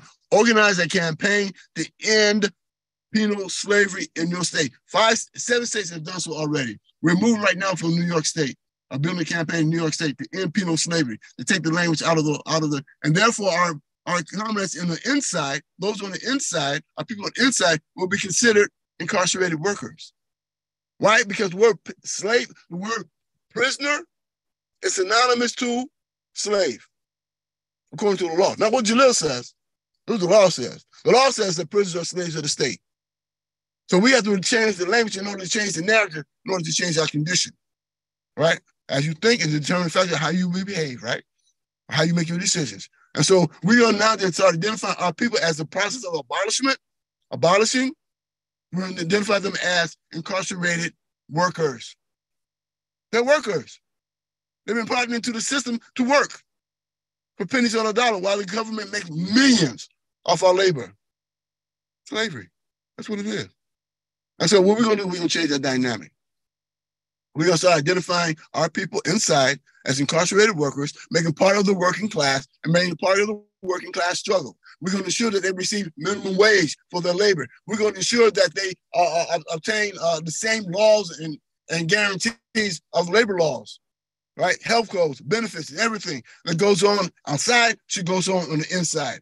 We're going to ruin this idea of penal slavery in this country, and we're going to start begin the process of abolishing the system of incarceration, the system of penalizing us for being black in America, living black, uh, driving black, uh, uh, um, being black, breathing black in America. All right, that's our task. That's our goal. And so for us, it's extremely important for those who believe and identify themselves as new Africans, right, to begin to codify the idea that we need to build a national front, front for liberation of new African nation, right? Where the majority of black people still live today, right? In the black belt. That's where we live, right? And many of are exodusing, exodusing back to the black belt, migrating back to the black belt, right? Because we cannot find a way that we can survive ourselves and have the community that we need to have in urban areas or in in in uh, the West and in some other parts of the country where we migrated as a result of that 100 years of lynching that we suffered as a result of the Black Codes and Jim Crow and the whole idea of uh, uh after the Emancipation Proclamation, right? And so for us, we're knowing that history and knowing our, our degrees of, of resistance that we have and our continued degrees of resistance that we have, it is extremely important that we become more organized, more unified, more directional, intentional, purposeful in terms of our goals and objectives. And for me, the goals and objectives national liberation and independence. There is no other goal and objective. There cannot be. We have to divorce ourselves from a system of, of genocide, period. And so I, I wanted to share that with you all uh, in terms of our, our, our, development, our goals and objectives. Uh, matter of fact, uh, uh I was in uh, Greece about, about, about four months, five months ago, right, for the anti, uh, international anti-imperialist movement for, in support of political prisoners. And at that time and at that position in, uh, uh, in that space, I told them, and since he told the world, and nobody gonna be free in this world until black people are free. Period. Why is that? Because black people have been held down all around the world. I don't care if you go to Australia, Germany, uh, uh, uh, Turkestan, or, or, or Timbuktu, right? Uh, uh, Tanzania, go to Britain. Black people's held down, right? Black people's at the bottom. So how in the hell the world gonna be free and the black people are not free? That's not gonna happen. When black people are free around the world, the world will be free. Okay, and that's the that's the, the principles of Pan Africanism. Why we need to connect ourselves as as the great uh, Marcus Garvey did, right? The greatest international organizer that we've ever had in our contemporary time. Or he had organized black people, organized African people in Africa, during the Caribbean, down south, in, in the Turtle Island, as well as in Europe. We have to re- resurrect that uh, that goal. We have to resurrect that idea. Resurrect that that love for our people around the world. That's Pan Africanism. Okay. And so for me, for me, and for us in our struggle that we engage in here, uh, here in Turtle Island, uh, building the People Senate is extremely important, right? And building Folanan is extremely important. That's where we're going to move forward, right? We are asking our comrade uh, of, of uh, African People's Socialist Party to join us in this determination right? We have to unify. We got to find principles of unity so we can move forward uh, uh, with the uh, uh National Black uh, uh, Liberation Movement and the various other forces that we have in this country. Again, I want to thank you. Uh, uh, and I want to tell our comrade Yeshitela, man, we got your back, bro. We got your back, right? We all in this struggle together. We got your back, homeboy. All right. We he and I been he and I been going back and forth since 1978 when he came to Oakland. I was organizing the UN petition campaign to the United Nations, right? And organized for the first uh, revolutionary newspaper called Arm the Spirit, uh, a prisoner's newspaper back in 1967, uh, 68. I'm assuming 78, 78, 77, 78, when I was in San Quentin prison, right? And just got, just got, just got paroled. And so we got a long history of struggle, a long history of, uh, of, of developing our, our relationship with one another. And we need to uh, strengthen that going forward. Hands off Uhuru. Hands, Hands off, off Africa. Yes. Hands off Chairman Yeshitela. All power to the people. All power to the people. Thank you so much, uh, Brother Jalil. I just really, I mean, I'll, I will applaud because I'm the only one in this room, but I just want to really salute you, comrade, and just, you know, appreciate the fact that we have you on this side. And as you said, we are engaged in a war, um, you know, wherever we are, whatever land we are on. And as you said, we are on stolen land by the indigenous people, which came from this attack that happened on African people. And we are, wherever we are, we have to fight back. And I really just want to salute, you know, the work that you had put forth in terms of, as you said, your construct, your struggle struggle and this struggle of all the peoples continues. And uh, just want to really appreciate just the simple science of what you said, you know, like, you know, individualism and competition versus unity and cooperation. Like, you know, now is the time to get organized. And as we understand, the highest form of unity is organization.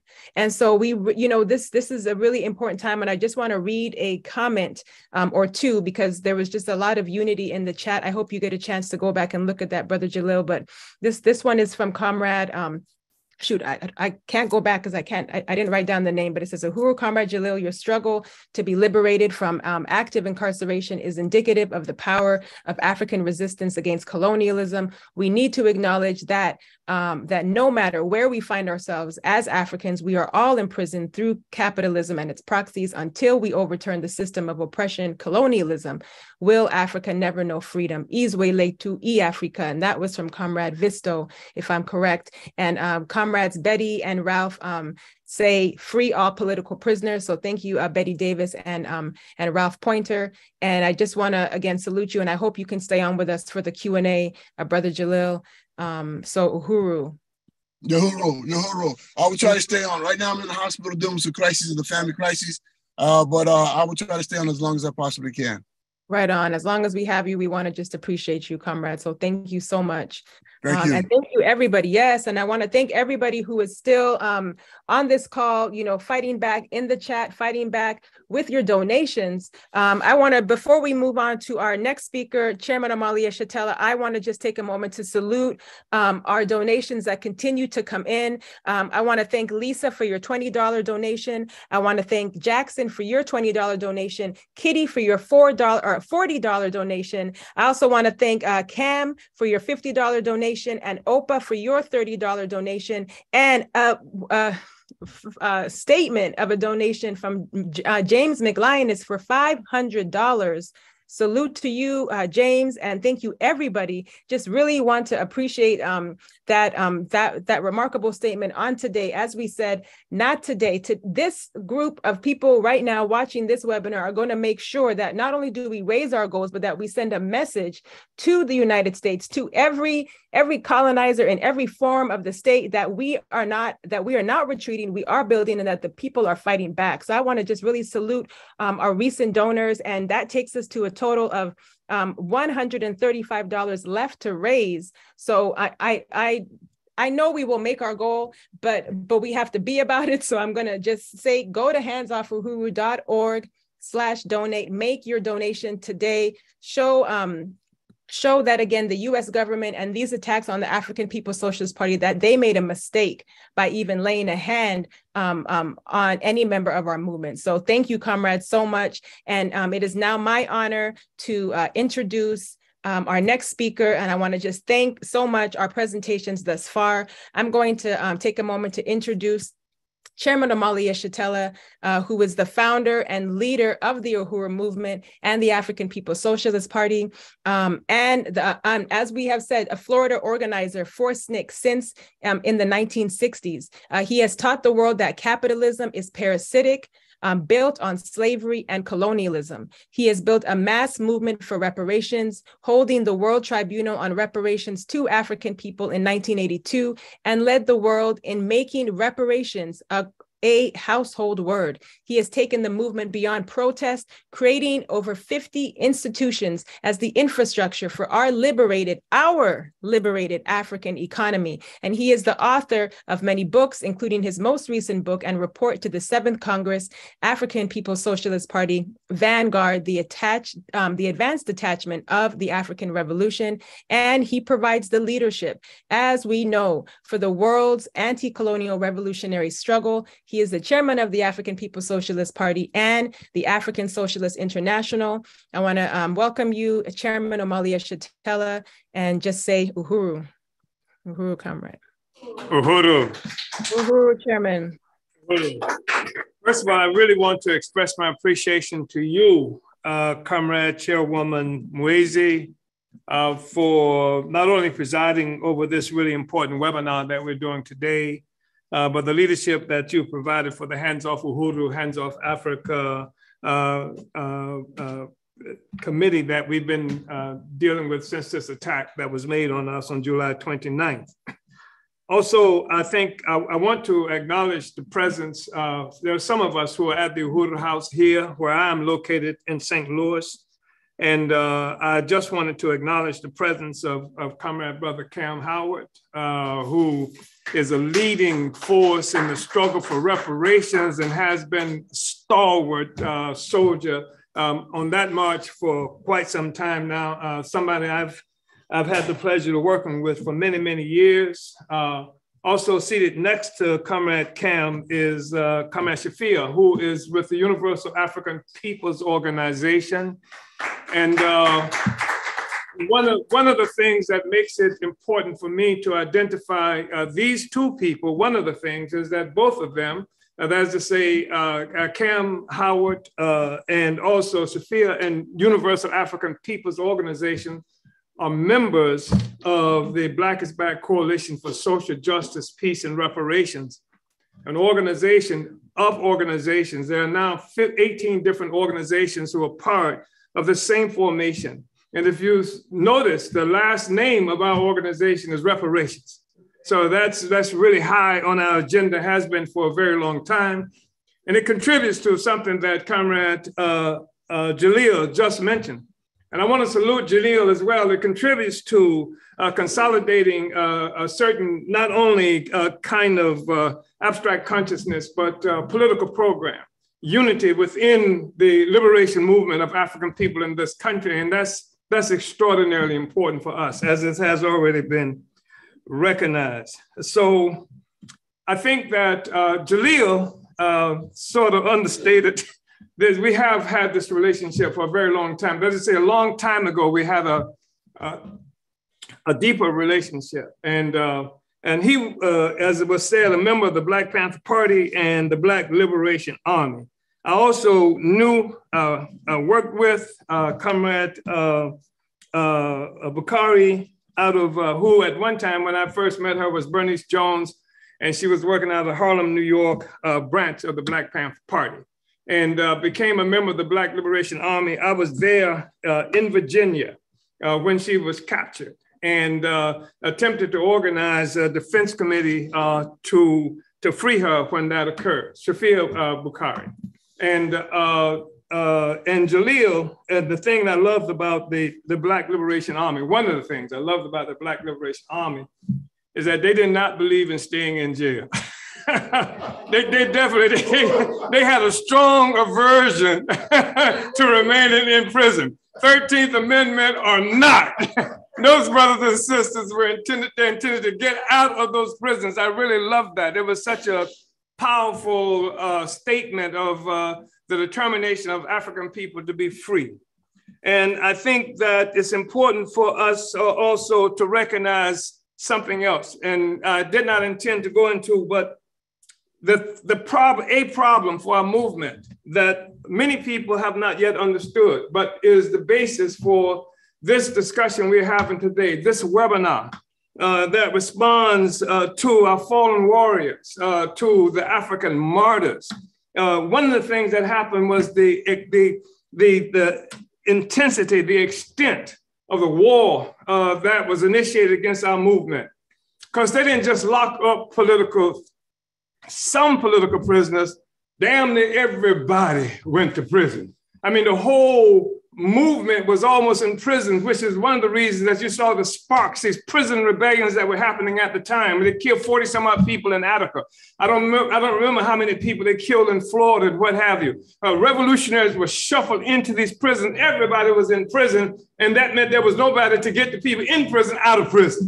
And this was a fundamental contradiction that we were confronted with. In fact, some people made careers, I'm talking about so called white leftists, made careers off representing Black political prisoners. They became the spokesperson for our movement because so many of us were locked up in prison. We had uh, uh, fierce battles with these uh, forces who became spokespersons for the Black Revolution because so many of our forces were locked up in prison. So I want to just uh, say how much I respect the, the struggle. Uh, and uh, as Comrade Jalil uh, inferred, I think that, you know, uh, there was unity and struggle. Uh, and, and we have had struggles and we do have differences on some questions and that's all right. Um, one of the problems that we suffered as a revolutionary movement is some of the ideological struggles that we were engaged in. In the 1960s, uh, when many of our warriors fell, uh, it was the apex of, uh, of uh, revolutionary theory, African intellectual theory uh, in the world at that time. All kinds of ideas were being uh, dealt with. And in fact, they were so, so, so significant is that the US had suffered a, a, a, political and ideological defeat in this country. Black people had turned their backs. Many Africans turned their backs on the US government and we're looking for alternatives. That's why there was a Black Panther Party. That's why there was Jomo. That's why uh, a Republic of New Africa. You understand? Republic of New Africa, not just Black people, but a republic, our own, etc. This was the way things were being articulated, direction that Black people were going in. But there were many uh, uh, uh, issues that did not get resolved. I mean, I was a part of the Black Power movement. I participated in the first direct action of Black Power while a member of the Student Nonviolent Coordinating Committee. Uh, but what is black power? What did it mean? I mean, one thing was really important. It meant power. That was a distinction that we saw in the black power movement that was leading to the struggle for liberation as opposed to trying to integrate into a system. We need our own power. And that's what we are talking about today. That's one of the things that's so important. And everything that Comrade Jalil has said speaks to that. We have some differences about what that means. We have some differences even about who that means. What is the African nation? Definitely, there is an African nation. We think it's a huge African nation, uh, more than almost 2 billion strong, stretched across the globe, uh, forcibly, forcibly dispersed at gunpoint. And that when we talk about Africans in this country, uh, we are talking about uh, we, it belies the whole notion of America being some kind of uh a nation of immigrants. Africans are not immigrants, we're captives. Right. That we came here at gunpoint. We're the only population in this country that did not come here looking for a better way of life, but we lost a better way of life as a consequence of coming here. And I think it's really important when we talk about that to understand that what happened to Africa as a consequence of our being here didn't just happen to us uh, who uh, in New Jersey, it happened to Black people around the world. I mean, Haiti, the most magnificent revolution that's happened in history, uh, was done by African people in Haiti who have been captured, who've been taken to Haiti at gunpoint. Uh, and then when they took, when Africans had the first successful workers' revolution in the world, had the first successful slave rebellion in the world happen right there in Haiti and it inspired Black people everywhere, including inside this country. That was an inspiration for Denmark Vesey and others uh, and because Africans in Haiti said, uh, if you get to Haiti, if you're a slave, if you get to Haiti from any place in the world that you will be free, we will give you land and everything else. Didn't say you had to be from Haiti. But not only that, the white people called it Hispaniola. Africans took the land. They didn't call it, what they, how did they characterize? They characterized it by the name that had been given to it by the indigenous people there, Haiti. And extended the reach of the African Revolution everywhere. So that was the most significant, it was the most significant attack on capitalism in the world. Because the whole economy of the world at that moment revolved around what? Slavery. And the Africans in Haiti rose up and, and dealt a significant blow on that and then attacked slavery, uh, slavery everywhere. The first uh, president of independent Mexico Guerrero, African. And then what did he do? He uh, tried to see if they could uh, fund expeditions from eight Africans in Haiti to do what?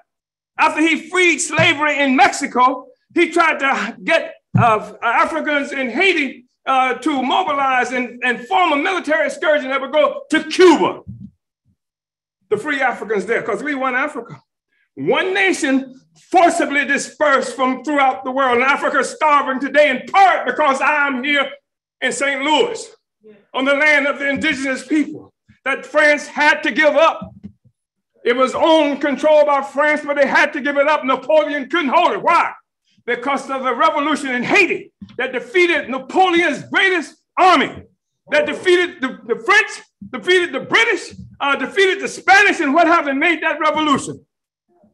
Haiti did that. Yeah. It's one Africa, one nation of people. That's the point that I would make. And to the extent that we understand that, like, like uh, Dessalines understood that in Haiti, he didn't say, uh, Black Lives Matter. he said, Kupate, Bulika, yeah. cut off heads and burn houses. That was the slogan that happened in Haiti. It was a definitive statement about what had to be happening if African people were going to be free. The colonialism had to be destroyed.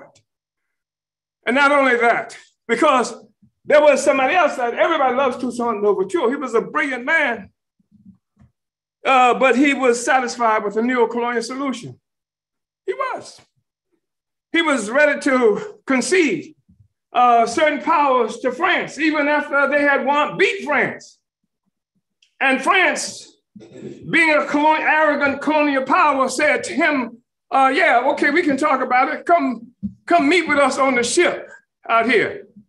And Dessalines said, "Man, you crazy if you get on that boat with them white people." and uh, and this brilliant uh, general Toussaint got on the boat with them, and you know what they did, don't you? Anytime they get you on a boat, you know what they do. They they sail away. And you know what they did with them? They took them to France. Not only did they take him to France, they put him in a prison on a mountaintop where he they froze him to death. But Dessalines, he remembered. A lot of people don't like Dessalines because he said, Kupite bulekai. He said, pay in kind. They kill one, we kill one. They kill two, we kill five. And so this was uh, this was a revolutionary movement. I just want to say that that's the power of the African Revolution. It's been global. It's been global, and Africa suffers today in part because I'm here, and we suffer today because we are here. You know, so uh, many people came here looking for a better way of life. We lost a better way of life as Black people, as Africans, because we were brought here. And yes, the best friends we had after getting here was not white liberals and the white man, it was the indigenous people. That nobody don't even talk about them. They live in concentration camps that people euphemistically refer to as Indian reservations, their land. They're on so-called reservations. You can't even see them anymore. When, when, when, when, when uh, Napoleon had to give up this thing that they call the Louisiana Territory that includes Missouri, where I'm standing right now, of course, Jefferson wanted to do this because he's a great white liberal that everybody loves, right? Uh, he had to do that. He was a rapist, right? He was a pedophilic rapist, raped 13 year old Sally Hemings and made babies by her. And we don't know how many other people he did that with, right? Uh, uh, used to, the, the Americans used to uh, say it wasn't true, but when they, they, couldn't get around it, they said he was having an affair. How the hell does a slave master have an affair with a slave? It's not like she can say, "Not tonight, honey. I got a headache." You understand? This is this is this is not the way it works. Never has worked. He was a he was a beast, and this is the basis of the democracy that people experience in this country and in Europe. All of Europe uh, came about as a consequence of taking freedom from black people and from other people who were colonized around the world. The vast majority of the people on earth live under colonial domination. And I think it's really important for us to stand, understand this. I want to say this because I don't have much time, and I've spent too much time already uh, uh, in this vein. Uh, but uh, it, you know, uh, Portugal, when we met Portugal, when we met Europe, what there was no Europe when we first met the white man. There was no Europe. There was no white man. There was conceptually, because we don't mean no white people. How the hell are you going to say a white person? They ain't white. White is a political and ideological concept that they constructed to define them in distinction from the rest of the peoples of the world because they were living off the flesh and the blood and the resources and the hopes and aspirations of, of and dignity of the peoples of the world. And it started with what they did with Africa, because that's where the colonialism began with Portugal in the 1400s. When I say colonialism began, I'm talking about in terms of what we, this modern iteration of, of colonialism that we recognize. So, so when you had Portugal, Prince Henry the Navigator, you learned about him when you were in school, the great navigator, this intellectual itch that the Europeans had, right? That they were going to go out and see the world, was it round, who was where, etc. No, no, no, no. Europe was starving. And it was unfree. There was no freedom. And they lived under feudal domination. Feudalism uh, was a, a, a draconian uh, uh, existence. No rights. Only the king had rights. Only the nobility had rights. In fact, uh, they had this concept they call it what? The divine right of the kings. That was the feudal order uh, that existed at that time. And uh, so there was no freedom. Uh, and there was poor. Europe was starving. And I'm not saying this to cast aspersion on Europe. I'm just talking about histor- history so that we can know what it is that we're dealing with, what our problem is, how to fix the problem. As opposed to continuously just complaining about there's a science to revolution, it's, it's a science and an art. That's what we're talking about. So you see uh, that uh, Europe was really literally so poor that, uh, uh, uh like in England in the, in the 1300s, uh, it is true that people actually were eating their cats, their dogs, bird fecal matter, because I guess for the seeds and stuff, and, and their babies. That was in England. That's a literal truth. I'm not making this up. I've learned a long time ago you don't have to make up no, no white people. That's redundant. you know, so this this is the truth. And so what what was it that sent uh, Prince uh, Henry out? What was it that uh, rescued Europe from this point of starvation and ignorance? It was 1328, something extraordinary happened that they heard about. And there was this black man who traveled from Mali uh, all the way going to Mecca with 60,000, a, a, a group of 60,000 people on camels and horseback and walking. Took him three months or so to get there. His name was Mansa Musa.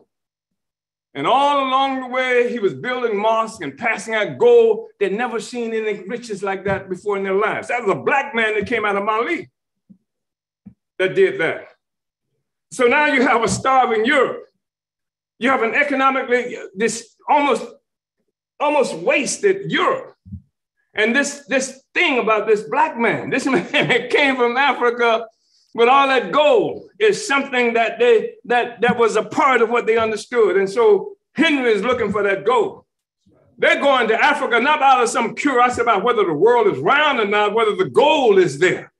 And so they start off around the coast of Africa.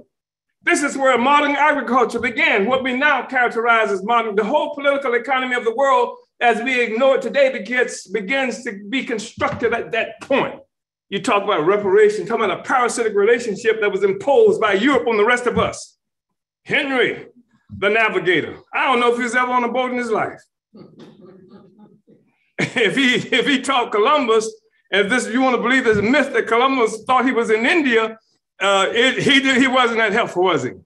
So uh, sugar. You see, Portugal take these islands off Africa and began to enslave African people. And this is where you have the mass production, plantation production of sugar. Changed the world. It was part of the process.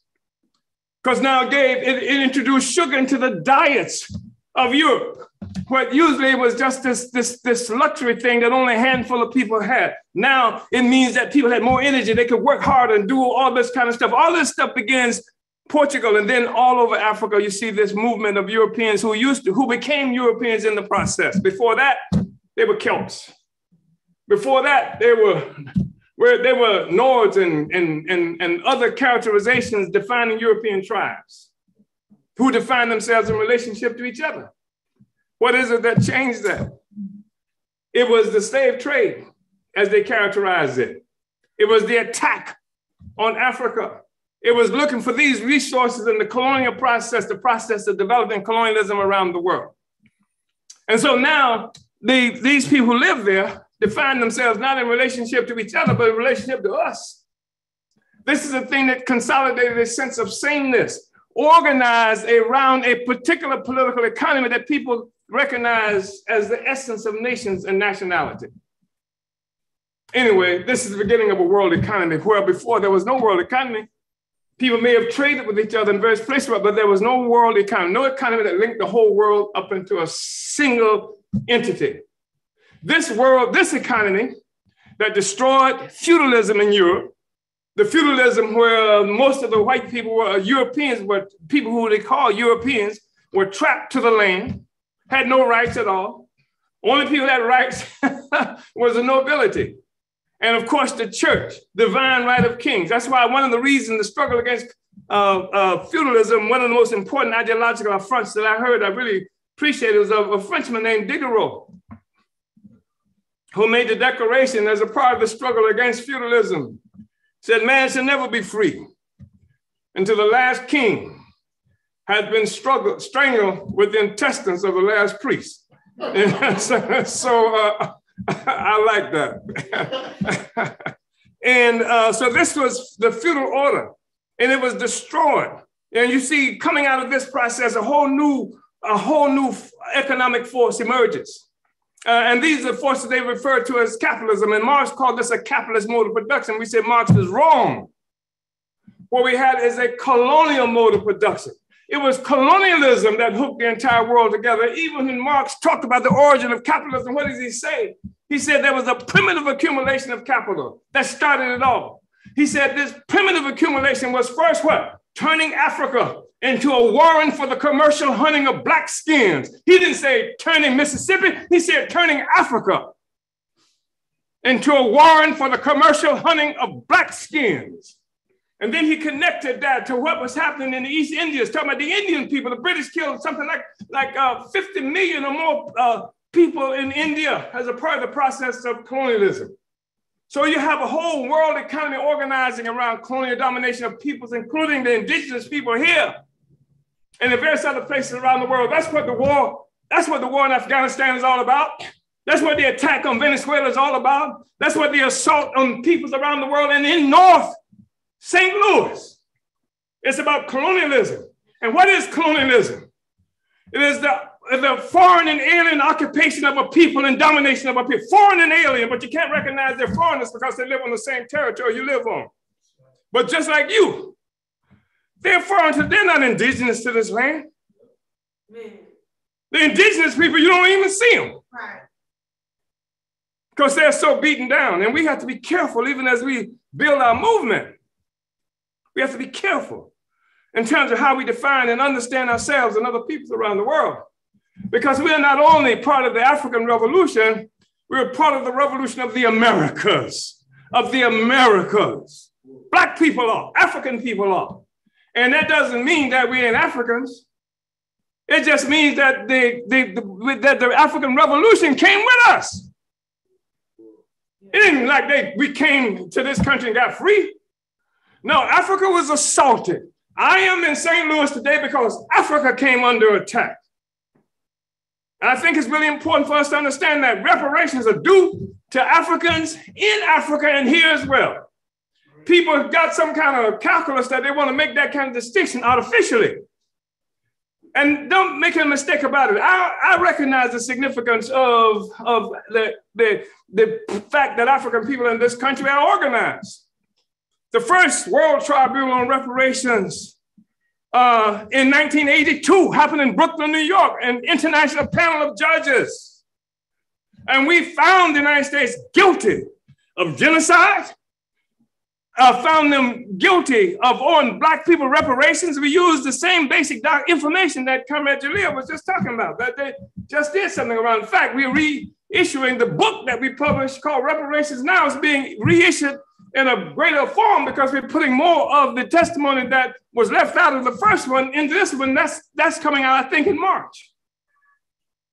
You see, so this is an old, this is an old story, and we need to be connected with each other so that we can understand this. And the, the point that I want to make that's really important because I only have a couple of seconds is that Jalil is here.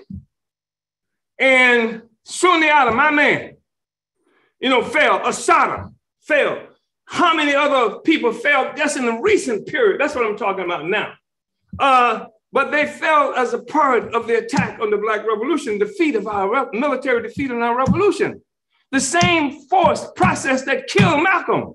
Look at the time frame that we're looking at. Look at the time frame when they killed Lumumba, when they overthrew Nkrumah. Look at what happened. The Black Revolution of the 1960s came under international assault. You got to have an international strategy to deal with, and you got to link up African people all around the world as ability in the, in the process of fighting against it all. So what do you have? You say we talking about voting. You know, we got a school coming up in April because we teach African people who how to, to struggle against the monopoly uh, that the black petty bourgeoisie, these sellouts, that some people call them the, the, the what do they call them? The miss, the some kind of, what they call them? Misleadership class. It's a class, they're the petty bourgeoisie. They're people who, who have uh, sacrificed the interests of the masses of the working people uh, for their own interests. The vast majority of black people are workers, working class, if you can get a job. And uh, uh, so know, you have uh, this situation where we have a school coming up. We teach people how to run for office. And but they run for office not just on anything, because Democratic Party does that too. But we teach people how to run on a, on a reparations platform. Put reparations on the agenda. Put reparations in your platform. Put free all the political prisoners on your platform. Put put uh, black community control of the police on your platform. That has to be on your platform. Take that space. Black people fought and died for that democratic space, and we should never concede it to anybody. So we don't allow the African petty bourgeoisie to monopolize that, monopolize that space, and we don't sacrifice it easily. And part of what the attack on us on July 29th was is this incessant way that they try to deny us space, the democratic space that we fought for, we died for, people bled for. They deny you that space so that you end up making premature actions that won't win masses of African people to make this struggle. They attacked the Black Panther Party. They attacked the African People's Socialist Party. They killed a co-founder of the African People's Socialist Party. But the fact is, the Black Panther Party uh, bore the brunt of this, uh, this assault inside this country. But you look at the period 1965, they killed Malcolm X. What else happened in 1965? They passed the Voting Rights Act. 1965, the Voting Rights, so you can vote. Then they killed Malcolm. 1968, they killed King who was struggling for a poor people's campaign. 1969, they killed Fred Hampton, Black Panther Party there. 1969, they arrest 21 members of the Black Panther Party in New York, New York 21. 1969, the FBI declared that the Black Panther Party was the greatest threat to the internal security of this country. This was the war that was being waged against us. This is the thing that put uh, uh, put uh, Jalil and other people like that in prison. This is the thing that helped me in and out of prison on a regular basis because this was a struggle on that sector, that part of the movement. It was a struggle to destroy the ability of Black people to fight against colonial domination, foreign domination, etc.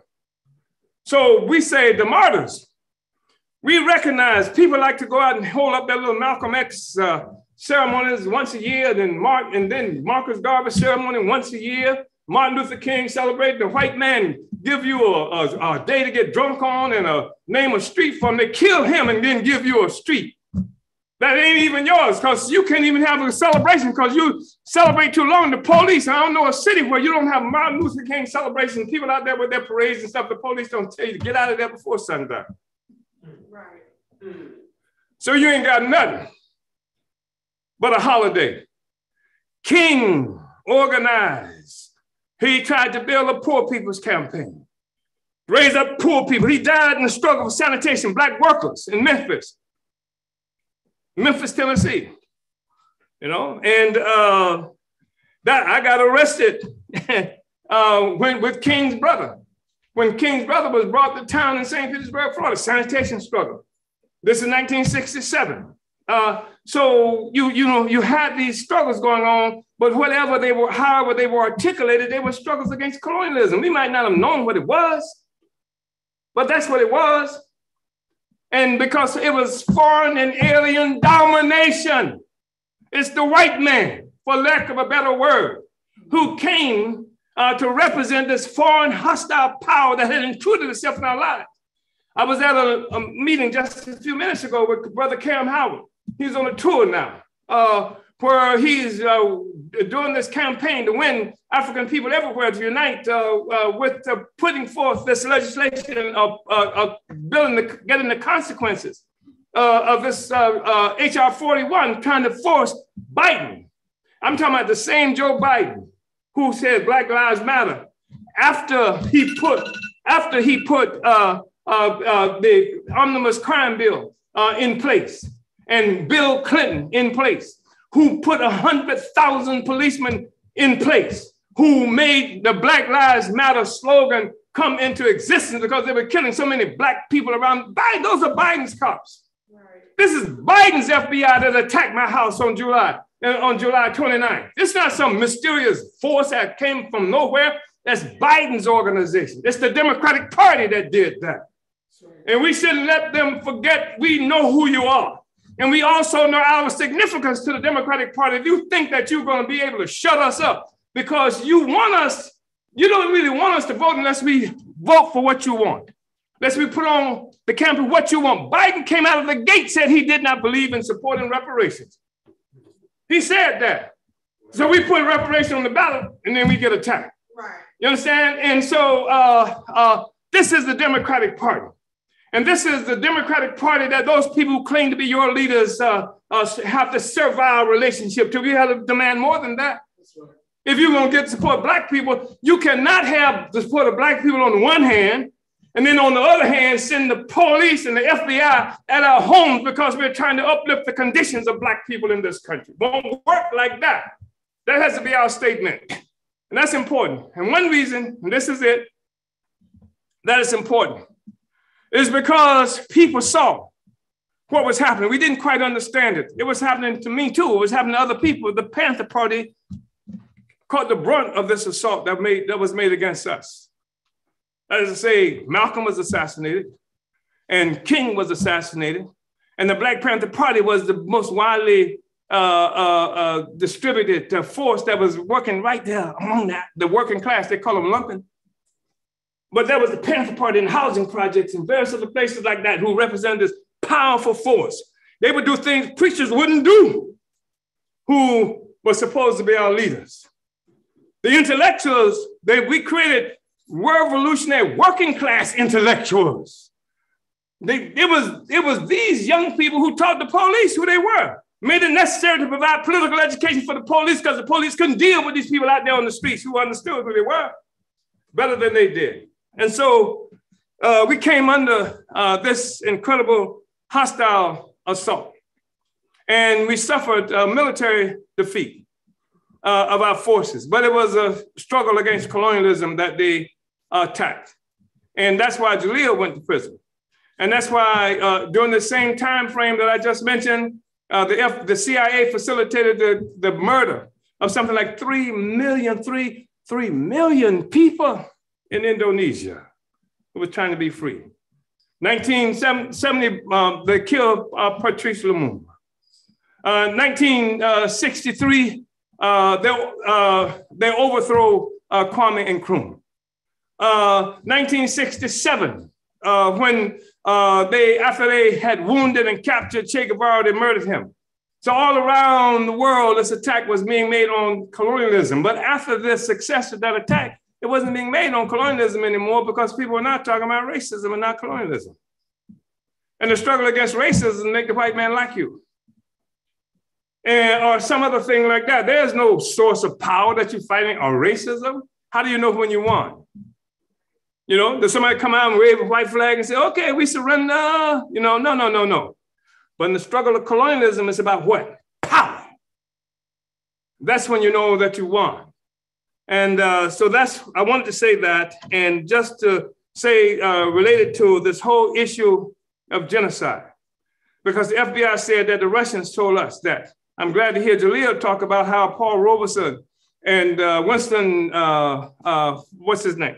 Uh, Patterson, Patterson, yeah, all these forces, you know, years ago, 1951, uh, they put uh, W.E.B. Du Bois on trial, on the rest of him, and put him on trial for the same thing that they're charging me and the Uhuru movement uh, with. This ain't no new thing. This is an old thing, but it's been obscured because people have forgotten what the struggle is about. We were talking about this today in the meeting where Kamm was was was at. Uh, because uh, he was saying that we have to learn how to resist and make the Democratic Party put it in a situation where it defend itself. It has to look at the reparations issue differently than it does, has to act on it differently. Uh, but for that to happen, as he was saying, that Africans need to know that we got the power. Uh, and we, in order to have the power, you really got to know you got it because otherwise you're just there floundering around. Uh, but the other thing is knowing that you got it, you have to be willing to use it. And being willing to use it means to know that what it is you're fighting for, at least in broad and general terms. And if you think you're fighting to get the system to like you better, you understand? Then you have one approach to it. And you will always try to find a solution within the Democratic Party. 1972, I think it was, uh, in, uh, in uh, uh, what was the, the national the conference uh, that African people conducted? Something like 9,000 people went to Gary, Indiana. and uh, even threatened to build our own, own labor union, our own black political party. And as soon as that thing, but before that thing was over good, the Democratic Party had pulled all them black Democrats in, back into line. You're damned if you're going to do that. Because they knew the power of the black vote once it's organized to serve its own interests. And all of them work to make sure it doesn't serve its own interest, that it serves the interest of their oppressor. Anyway, uh, I want to say those things and thank everybody. I want to say that in this room uh, here, uh, representing from the Green Party, Uhuru Comrade Angelica, uh, uh, in this in this room, uh, two uh, uh, of the other uh, so-called non-indicted co-conspirators, Jesse Nevel and Penny Hess. And this was an important development. Believe me when I tell you that. Because when they killed Malcolm X, you didn't see no white people rising up, did you? You didn't hear no, no, there was no white people in the streets that killed Malcolm. There, there was no recognition that this was something that affected white people in that way. In fact, some of them might have been happy. Even when they killed King, as black people made it necessary for them to put tanks around the White House because they thought we were going to burn it down. You didn't see white people rising up doing anything like that. To kill Fred Hampton, you didn't see that kind of stuff happening. They could attack the Black Panther Party in Los Angeles a week after they attacked it, attacked uh, the Black Panther Party in Chicago, uh, and and uh, you didn't see uh, white people upset uh, doing anything about that. Uh, but now what you see, we've developed a strategy and moving in such a fashion that they cannot attack us in the same way. They can attack us, they can attack us, but they're not going to be able to narrow down that we're just fighting Panthers. You're going to be fighting your own democracy when you come at us. You said that we have the democratic rights to do this stuff. You said I have the right to use, use the, the, the process of elections. You said that I have the process, freedom of speech and freedom of assembly. That's what it is that we're pursuing. So when you attack us, then what you're doing is exposing the fact that you don't really believe in any of that. You believe in freedom of speech, freedom of assembly for white people who say the right things and do the right things. Even for white people who stand up on the right side, then when you come to get us, you got to come to get them too. That's a remarkable difference in what they saw in the 1960s. And I just want to say those things. And uh, also that there was an 800% increase in the number of Black people who were put in prisons uh, since the 19, starting in the 1960s, moving through the early parts of the 70s. 800%. What, start, what caused that? It was the resistance. Black people rising up because freedom is illegal for Black people. It has to be illegal for Black people. If you got a whole economy and everything rests upon the foundation of Black people being enslaved, then how the hell are you going to let Black people be free? Can you imagine it being legal for a slave uh, to be free? I mean, you got a slave economy, a slavery mode of economy. How is it going to be legal for a slave to be free? And so, uh, even if they use terms like legality, uh, the fact is, in fact, de facto uh, slavery. De facto with the 13th Amendment that says you're free except when we put you in jail. Uh, and in, in, in talking about the prison population, prison is genocidal, not just because it locks up a lot of people who would die there, because they lock, it's an attack, it's a form of birth control. Putting all these young black men in prison is a form of birth control. And so, you know, the Genocide Convention prohibits doing things that will that will restrict the birth of the of the people who have been subjected to uh, uh, to this. If you look at uh, the situation in Chicago, uh, we have. Uh, uh, I've just heard that something came out today saying that there is something like a what is it, 400% increase in the number of Black babies with syphilis in Chicago, a 400% increase. I saw something that said just a week ago uh, that uh, in 2022, uh, there, were, there were only 15 days that the police was not, did not kill somebody. And I'm sure that's inaccurate because they didn't count the number of times the police ran somebody off the streets or did some other kinds of things that killed people. Only 15 days. This is what we're living with this is why this, this webinar uh, is so uh, extremely important for us. The question of of, of, of martyrs, the, the question of these political prisoners, how it all ties together in terms of the defeat of Black people just to be free, and this attack on the African People's Socialist Party and the Uhuru movement on July 29th. Thank you, brothers and sisters. Uhuru.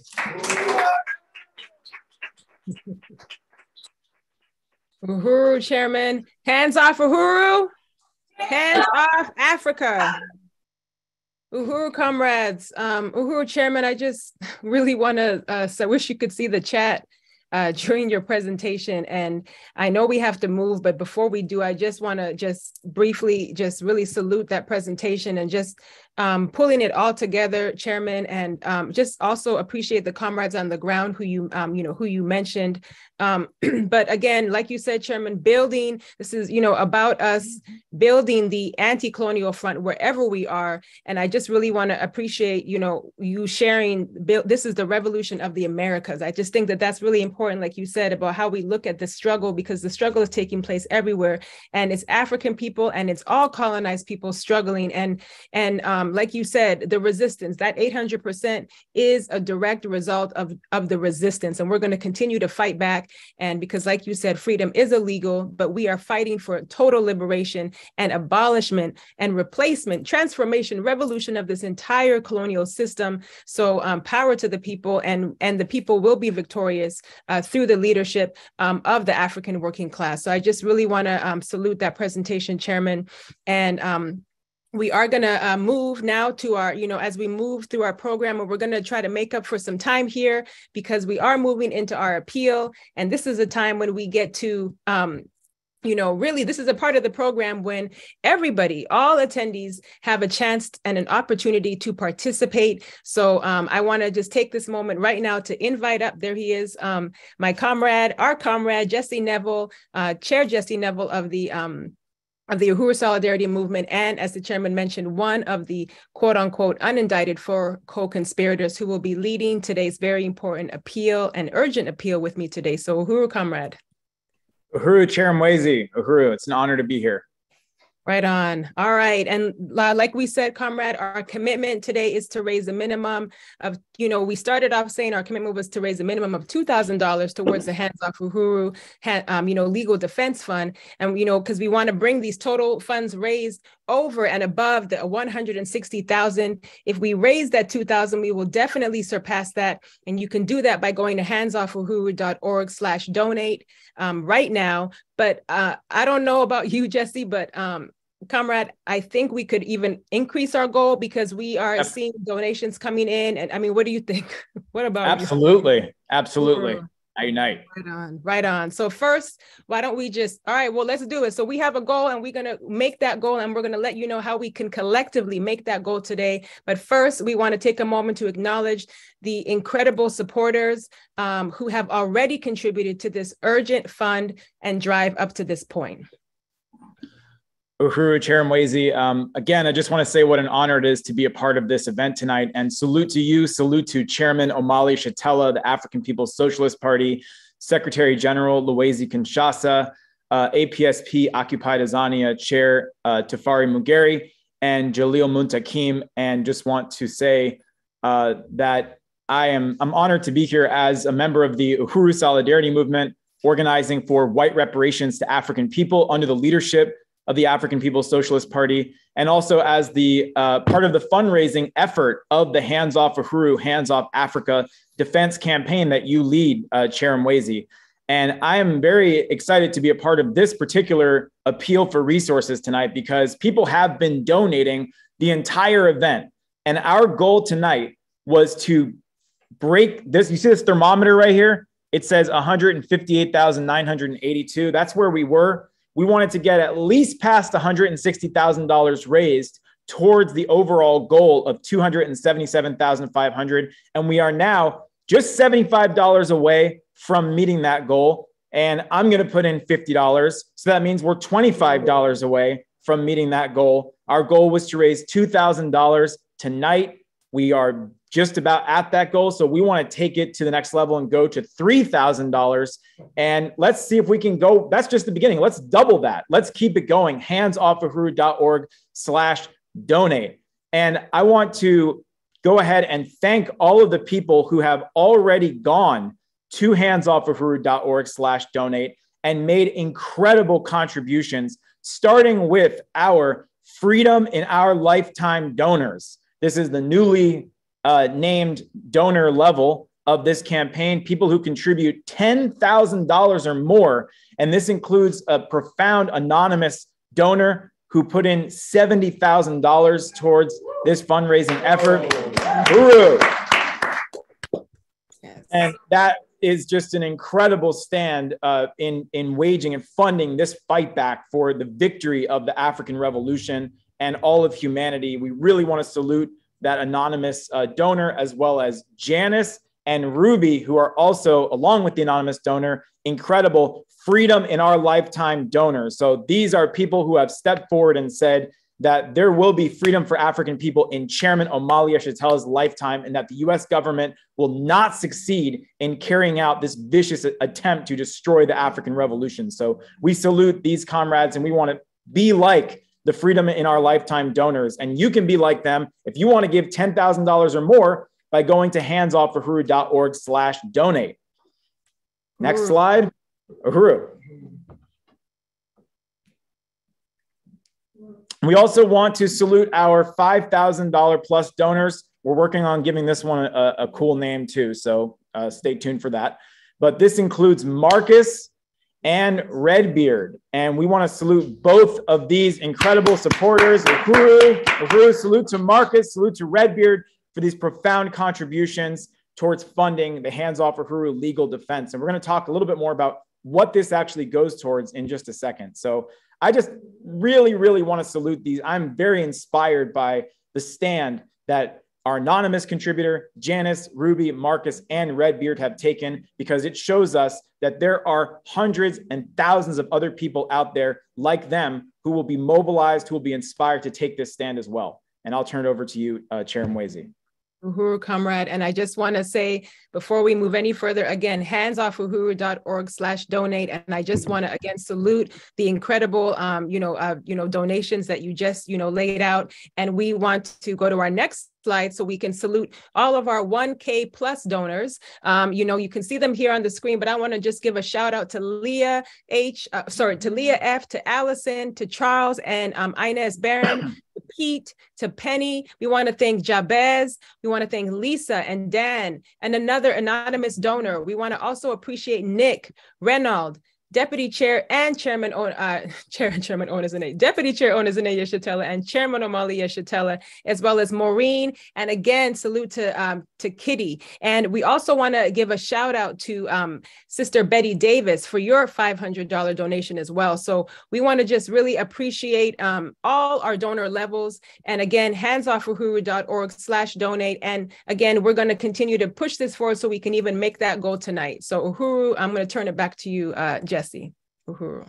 Uhuru, Uhuru. And we're going to give a special shout out to everyone who has actually donated tonight um, in just a moment. But I just want to say we are actually at $2,115 raised. So let's keep moving towards $3,000. Handsoffuhuru.org slash donate. And, um, you know, normally they say hold your applause, but don't bother. Just keep applauding throughout because we want to salute all of these amazing people who have actually become sustainers. You can go to handsoffuhuru.org slash donate and sign up to contribute monthly and look at all of the amazing people who have already stepped forward to do that. So let's give a round of applause for first of all pete yarashuk is our highest level sustainer. Shout out to pete uhuru be like pete. All right. We want to salute wendy s um, jim b colin s emmanuel nathan Peter, that's Pete, who I just named. Myself, I'm a sustainer. I'm proud to be a sustainer. Elise, Mensa, Brendan, another Wendy, Wendy C, uh, Kat, Leah, Matzamela, MQ, Aaron, Bree, Halima, Johan, Fatia Ayana, John S., Kim, Mwezi, Grady, Rodney, Zoya, and Anonymous. These are all monthly sustainers who contribute every single month at various amounts from $5 a month to almost $200 a month towards this campaign. So shout out to these incredible donors. And finally, before we go into the goal for tonight's event, we want to salute everybody who has contributed since the last event. And I want to give a special shout out to uh, to uh, ANWO president and African People's Socialist Party leader Yejide Orunmila, who represented the Hands Off Uhuru campaign and the party at the anti-war rally, uh, Rage Against the War Machine, that was held in Washington D.C. Uh, just last weekend, that raised resources towards this campaign, as well as Fofi and Grace here in St. Louis, who organized with Project Black Ankh an amazing poetry event that raised over $350 towards the Hands Off Uhuru campaign. Woo. And uh, Uhuru, yes. Round of applause for that. Uhuru. Yes. And, and I also want to salute the National Day of Phone Banking and all of our volunteers who participated in the National Day of Phone Banking, uh, who got on the phones and are one of the main reasons why we are able to thank so many people who contributed since the last event. So I'm going to go through this really quick so you can applaud from wherever you are, but I'm going to go through this fast because we want to uh, keep this agenda moving forward. But we have the anonymous donors, we have Lisa, Carl, who put in $500. Shout out to Carl, Uhuru, Uhuru Carl. Uhuru Carl. The APSP Midwest region, as I mentioned, that put in $356 from the poetry event. Uhuru. We want to thank uh, Joe Lombardo and the United National Anti War Committee, UNAC, that donated $300 towards the Hands Off Uhuru campaign. Salute, shout out to UNAC and Joe. Uh, we want to thank Johan, $200, Marco, $200, the APSP Northern Region, $110. And then at $100 each, Ann, Kara, Dexter, Kamau. Oh, okay. This is going into tonight's event, I think. Or maybe not. Okay. We have repeat donors. So it seems like it's tonight, it's people who have donated many times. Uh, Kamau, Penny, Rage, Susan, Tanya, Wendy, Zoe, Mayasa, David, Eric, Imani, Jay, Joel, Matum, Aronde, Paul, Brendan, Christine, Sergey, Lauren, uh, MQ, Fatia, Ayana, Jackson, John, Pharaoh, Zoya, Janet, Kyle, Leandra, Nasha, Paula, Scott, Aisha, Ahmad, Albert, Gasso, Mwezi, and Bree. So huge round of applause to all of these people who have contributed. And that's that's leading up to tonight. So this campaign is on fire and just want to salute everybody who has contributed again by going to handsoffuhuru.org slash donate. Uhuru Chair Mwezi. Uhuru, comrade. Yes, I just want to echo and just salute everybody who has helped us get to this point. And we are going to um, continue in, in just a moment to thank those who donated and made the stand tonight. But um, on our next slide, you're going to look at some of the givebacks. We want everybody to know that anyone who gives over a $1,000 will be receiving a Hands Off Uhuru t-shirt, which you can see here on the screen. Um, they, they are in many, well, many colors, black or, or, or red. But um, we have long sleeve t-shirts and uh, regular sleeve t-shirts. And for a 5,000, um, any donations above 5,000, we want to gift you with the Hands Off Uhuru sweatshirt. Um, as we said earlier on, we will be um, sending, we want to send thank you cards and a sticker to everyone who has donated, regardless of what amount. So um, make sure that when you donate, that you fill out this form that we're going to put in the chat for you to make sure that um, you can give us your mailing address and the information that we need to send you your thank you card and your um, and your Hands Off Uhuru sticker, no matter at what level. We appreciate appreciate you. And if you haven't already done, um, you know, um, if you have already donated, please put, um, please fill out that form already so we can get that to you right away. So again, I just want to appreciate everybody. And, you know, um, these these these shirts look good you know so i mean you know get on the right side and you know you know get hands off of who and, and we're going to get some you know be an unindicted co-conspirator whatever that looks like but right now give us your information so we can thank you and we can send you your thank you gifts uhuru Uhuru. Right. Uhuru. Oh, Uhuru. go ahead. Sorry. No, I'm just gonna say let's let's go ahead and start thanking those who have already right. donated and contributed. Right on. Okay. All right. So um, so we have $785 left to raise to reach our new goal of $3,000 tonight. If everybody who's still tuning in right now put in about $17 each, we would surpass this new goal. But before we even get to that, I want to once again thank everybody who has contributed uh, towards our goal today. And that includes Carla, who put in $300. And salute Uhuru once again to Carla. That is powerful. Dolores, who put in $75. Halima at 10, Leah at $250. This is one of our repeat donors. The African People's Solidarity Committee contributed $100 tonight, Uhuru to APSC. We had an anonymous contribution of $100, $50 from Penny Hess, Uhuru, $100 from Kamau, 20 from Ember, 50 from Kimberly, 25 from Anonymous, 5 from Gloria. Uh, Raya Fogarty became a $20 a month sustainer. Shout out to Comrade Raya. $100 from Becky, 20 from Lisa, 20 from Jackson, 40 from Kitty, the $500 contribution from James McLinus. Salute, revolutionary salute to Comrade James. $50 from Kamm Howard. And okay, it keeps going. $30 from Opa, $20 from Len, 20 from MQ, 20 from Parrish, 20 from Matum, 20 from Imani, and Angelica, who is in the room with us, contributed $100 Uhuru to Angelica. Huru. And also in the room with us, Rage contributed $50 Uhuru to Rage. Chimaranga put in $20.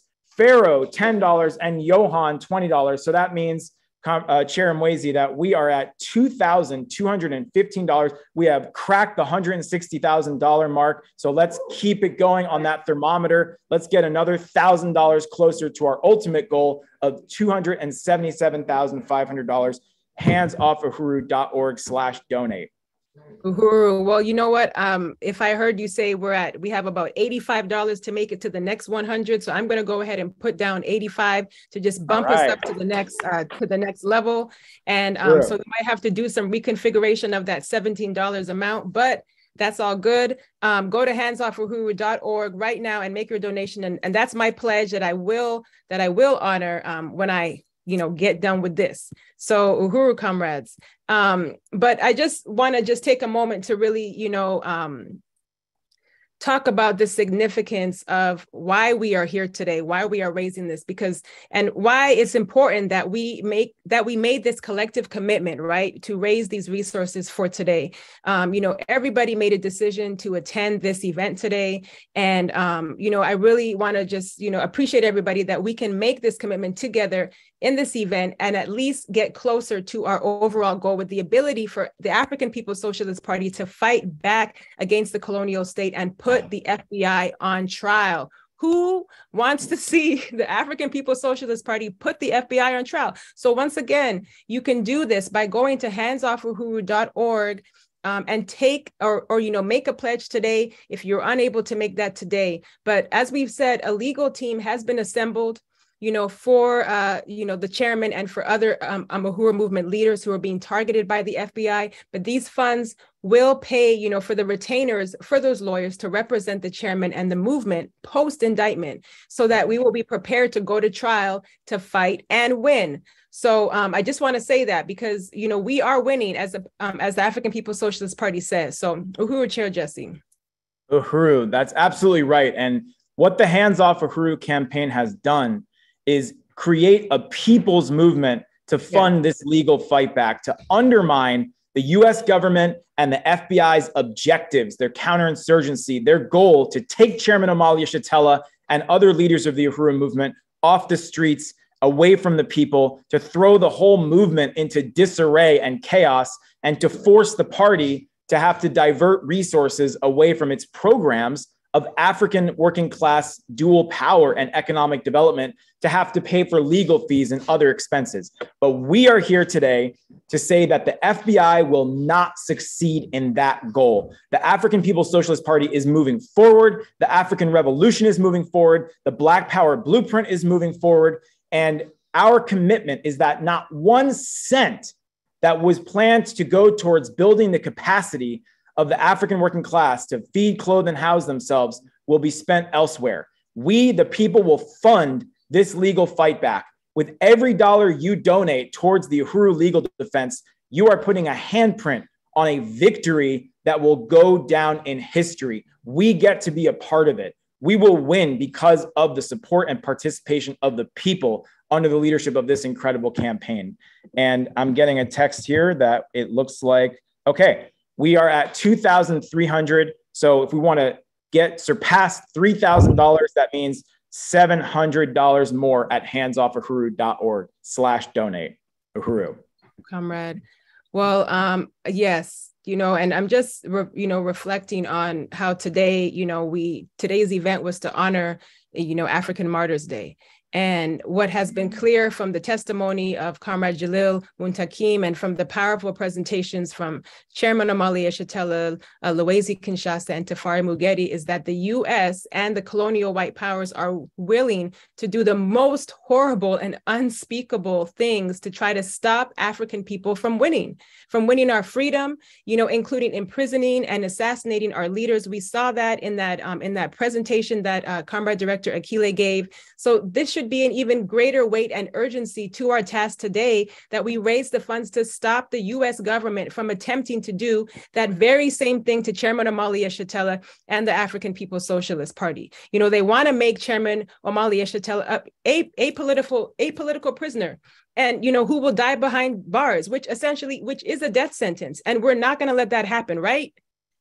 Right. Right. Right. Right. Because you know this really is like their last ditch effort to try to stop the leader of the African Revolution, who they have been unable to stop for more than 60 years. And they have arrested him, they have jailed the chairman, they have harassed him, they have firebombed his house, they have raided the chair, you know, raided the Uhuru house um, in 1996 with over 300 crops, slandered him, and so much more. And they've never been able to stop him. So now they are desperately trying to concoct this legal basis, right, to put the chairman in prison at 81 years old with the expectation that he will die there. They want to effectively give Chairman Omali Yeshitela the death penalty. And so, you know, we cannot allow one more day to go by. At, at any moment, indictments could drop and we would not be in place to have what we need to at least secure and defend who their target is, the chairman. That's why we have to donate today. Go to handsoffuhuru.org slash donate. And not only is this making um, you know not only really like what are they doing is like making a political prisoner in like slow motion with this you know with these indictments and the threats of indictments but it's an assassination in slow motion and we will not stand by and let that happen. An attack on chairman omali yeshitela and the african people's socialist party is an attack on africa. It's an attack on african people everywhere and it's an attack on the liberation struggles and by funding this fight for victory for the African People's Socialist Party, we are saying that Patrice Lumumba, that Malcolm X, that Marcus Garvey, they did not die in vain. And through our victory and their legacy, they will be vindicated and their legacies will be upheld. So that's why we say hands off Uhuru, hands off Africa. And that's why we say that um, this is hands off Africa and African people and Africa's future. So please, right now, we implore you to go to handsoffuhuru.org slash um, slash donate and um, and make that call today. Uhuru. Uhuru, Chair Mwezi, thank you so much. That's a very powerful statement that is clearly resonating because the donations are pouring in, Chair Mwezi. People are going to handsoffuhuru.org slash donate. Fofi put in $50. Uhuru Fofi. Uhuru. Uhuru Fofi. Julian put in $10. Uhuru salute to Julian. And yeah. Carl put in $100. Uhuru salute to Carl. And Chairman Omali Yeshitela and Deputy Chair Ona Zené Yeshitela have just contributed $200 towards the goal tonight. So what does that mean? That means that we have raised $2,660. We are so close to meeting our new goal, only $340 left, $340 left to go to re- reach our new goal of $3,000. We can do this. We can make this happen. Go to handsoffuhuru.org slash donate. And I want to say that we are, we appreciate donations of every size. And I want to say this in particular for other white people like myself. I want to call on us to dig deep not only in terms of what money we have access to as white people based on the colonial mode of production and having access to resources dripping in the blood of stolen lives and wealth of African people, but also to dig deep in who we know, social wealth, family members, connections that we may have. We are looking for people who can donate $5,000, $10,000, $100,000. And we know that these resources are out there. And I want to make a call. Think about who you know. Think about what connections you might have. Think about do you know someone? Do you know someone who knows someone that that you could talk to, that you could arrange a meeting with, that we could develop a strategy with you to approach that person about making a serious major contribution because we want to go ahead and fund this thing. We want to get this behind us and as Chair Mwezi so eloquently put it, not go another day feeling like if indictments drop tomorrow that we don't have the resources on hand to get the legal representation in place and do what has to be done. No, we have to make sure that this is that this happens, and that's why I want to just make a call to people to uh, contact us if you are if you know someone or know someone who knows someone or you have a connection to a foundation or a grant uh, that you want to make available to this campaign. You can put it in the chat. You can uh, contact uh, fundraising at handsoffuhuru.org. We can put that in the chat. And we want to thank $5 cash from an anonymous donor in the room, Uhuru, yes, $17, $17 more from MQ, yep. and uh, $10 from Pharaoh, bringing us to 2692 I can't even keep up with this. $40 from Brendan, Uhuru Brendan. Yep. That means now. New title is 268. There we go. There we go. And uh, Chair Mwezi, I also want to make a call to everybody tuning in to join the fundraising team. If you want to do what we're doing right now, you want to raise money, hold events, research potential donors, help to get the word out, jump full force into raising this money, join our fundraising team. We need you on board. We need your creativity, your ideas, your enthusiasm, your commitment to fight for hands off Uhuru, hands off Chairman Omali Yeshitela, you can let us know in the chat. Type in fund the fight back. Fund the fight back. Put that in the chat. If you want to join the fundraising team, you want to hold a fundraiser, do a house event, do a bake sale, do a benefit show, or otherwise participate in this momentous and historic effort to raise the funds for this legal defense, type fund the fight back in the chat and we will follow up with you about coming to our next meeting, which will be held on Friday, March 3rd at 10 a.m. Central. Again, fund the fight back to get involved in the fundraising campaign. The more people we have involved in this campaign, the sooner we will be able to say, we did it. We raised $277,500 to fund the legal defense, to fund the fight for victory for the African Revolution in the courts and in the streets. And this is a victory that will shake the whole world. The world will never be the same once this is over and done with. So that's my call for people to join the fundraising team. And uh, I know we're we're running out of time, Chair Mwezi. We got right. $268 left to raise. So people can go to handsoffuhuru.org slash donate. I'll turn it back over to you. Uhuru. Uhuru. Well, I just want to close this out by saying I just want to salute all the donors, you know, any amounts. And I want to just say a big old fist up. Fight, back. back. Uhuru, comrades so we ain't because because it's not over it's not over. And right now we want to uh, i just want to really appreciate you uh, comrade uh, chair jesse for just um, leading us through this powerful appeal um, and salute to the people the people the people. This is how we will win. So um, we are going to move right into our question and answer. And i know we are a little um, we we we want to start to wrap up today's program but we do have some questions that we are going to take. So i'm going to call up um, comrade again um, our our you know, fierce comrade director Akile, who's um, Akile Anai, who is going to help lead us through the uh, Q&A. And we will, because um, we have some questions that we want to be able to address today. So Uhuru Comrade. Uhuru. And our chat moderators, uh, Uhuru, and our chat moderators are putting questions in the chat. Um, so just please keep those there. And if we can't get them to them all today, we, you know, uh, we will get to them in the future. Uhuru Comrade. Uhuru, Uhuru Chair Mwezi and Uhuru comrades. First of all, salute the amazing fundraising efforts and to everyone who has contributed and is continuing to contribute to this fundraising goal. Um, and you know, just recognizing the urgency and the seriousness. And I just think that Chair Mwezi did uh, and uh, Comrade Jesse did a powerful, powerful call just now.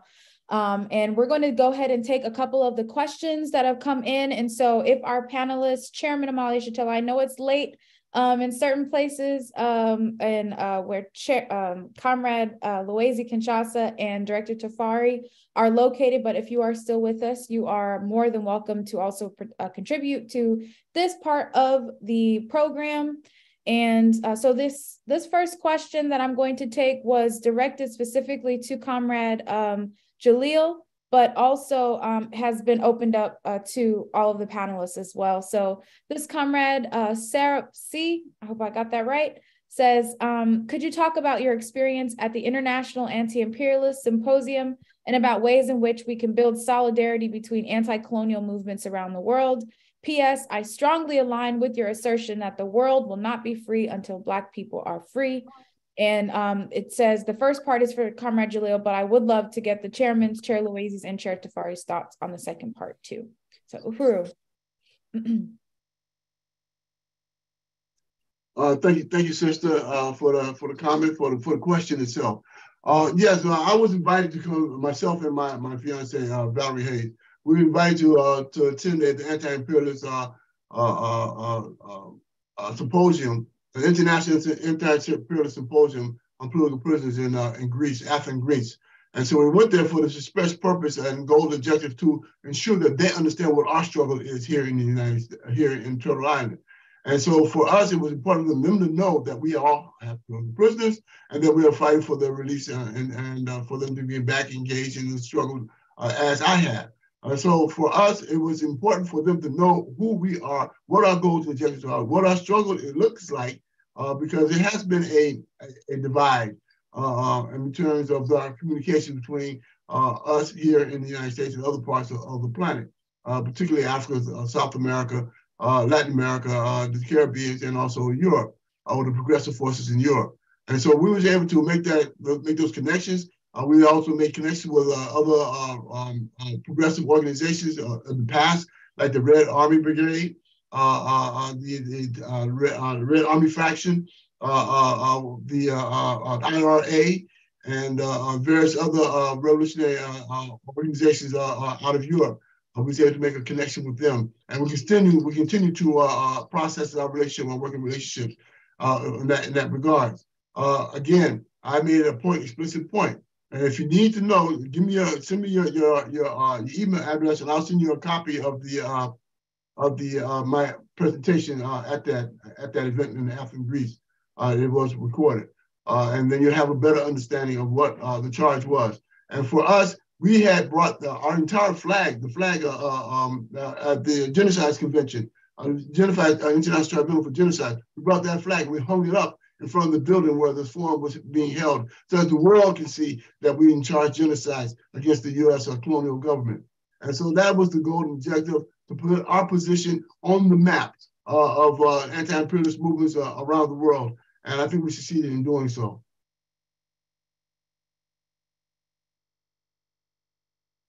Uhuru, Comrade Jalil, thank you for your answer, and Comrade Sarah for your uh, for posing the question. And he says thank you, or they say thank you, Uhuru. And um, uh, if, unless Chairman or um, Chair Luwezi or Chair uh, Tafarie have any, oh, I see um, Chairman on have any comments um, regarding this particular question. Um, if not, is, uh, is either Comrade uh, Secretary General uh, or Director uh, Tafarie still um, on? Yeah. yeah. But my camera is not coming on. I, I should let you know that uh, Comrade it wasn't mentioned. He's Congo born, uh, in exile, been in exile in England for a few years. So uh, go ahead, Uhuru. Yes, Uhuru, uh, I appreciate uh, uh, the question. Uh, if I understood it, uh, to me, uh, as African internationalists, uh, I look at a three aspect. Uh, the international question basically revolves around the main contradiction in the world between uh, uh, oppressing nations and oppressed nations. And basically, the dividing line is around the colonial uh, question, and uh, which means that all the struggles against colonialism, we have to be a part of it.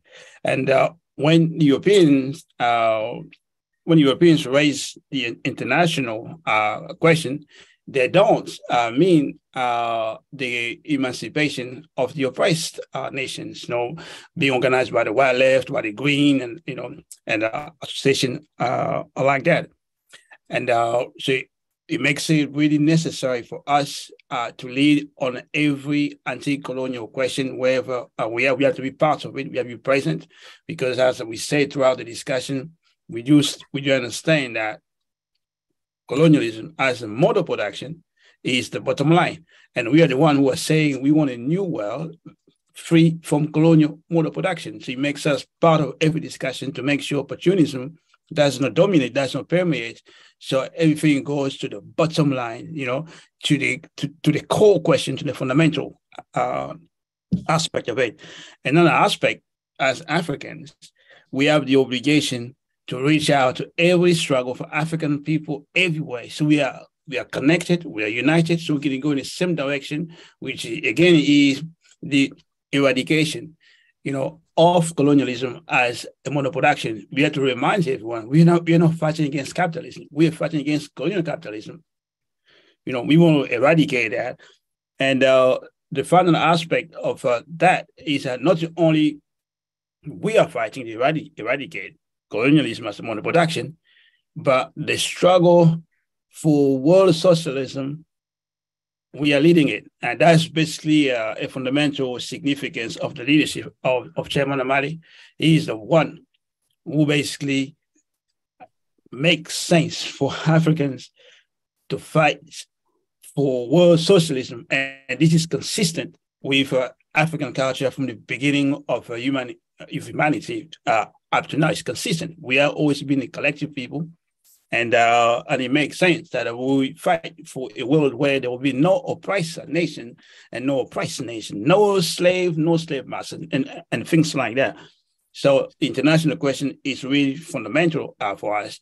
We have always to have our look, uh, our uh, we, we always have to have an international uh, African internationalist outlook on every question. Every question on the planet, we need to know what's going on there and you know how to move that contradiction so, so we can bring everybody to look at the core and fundamental question so that we can really be you know international so everyone can become you know involved in that struggle so yeah i appreciate the question i think uh, that's what I, I can say yeah or Uhuru. Uh, I wanted to just respond to that too in, in terms of free Africa, free the world. Is that was that part of how this discussion uh, uh, black people as it's been characterized with free Africa, free Africans, and and free the world. Unless Africa is free, nobody's going to really be free unless black people are free. That's that's the bottom line, not real freedom. I mean, uh, people who are opportunistically looking just to find a place in the sun under uh, this system uh, obviously can be free. And what typically the imperialists have done is anytime there's a crisis, they would transfer the crisis of imperialism as they characterize it onto the backs of the colonized peoples of the world. And uh, they extort more, extract more value, et cetera, uh, initiate uh, certain kinds of austerity plans uh, imposed by the IMF and World Bank uh, and other colonial powers and institutions on Africa and African people and bring more resources uh, to the United States, to Europe, and what have you.